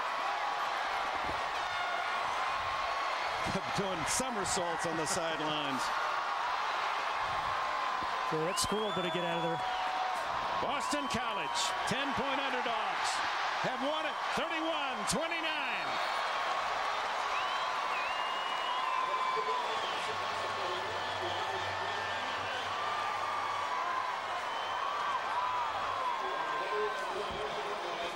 Tim Hasselbeck leading the Eagles to victory here against Notre Dame, and he's with Jim Gray. All right, thank you very much, Dick. Tim, congratulations. You. you. guys built up that big lead. Tell us about your two big passes to Burke. Uh, he just did a great job of winning on the line. He was getting pressed, and uh, he got open and made a great play. And uh, Great catch, wasn't it? It was a great catch, great route, and uh, you know, people didn't believe in us, but now we're 8 and 2, and people might start believing in us now. How nervous were you as Notre Dame came roaring back here and cut to within two? I mean, we've been in that position before where people have been coming back on us. We just knew we had to stick together. Our defense would come up with a big play. Pedro Serrano has been a great player at BC for four years, came up with a huge play at the end of the game. How about Virginia Tech now, the number two team in the country?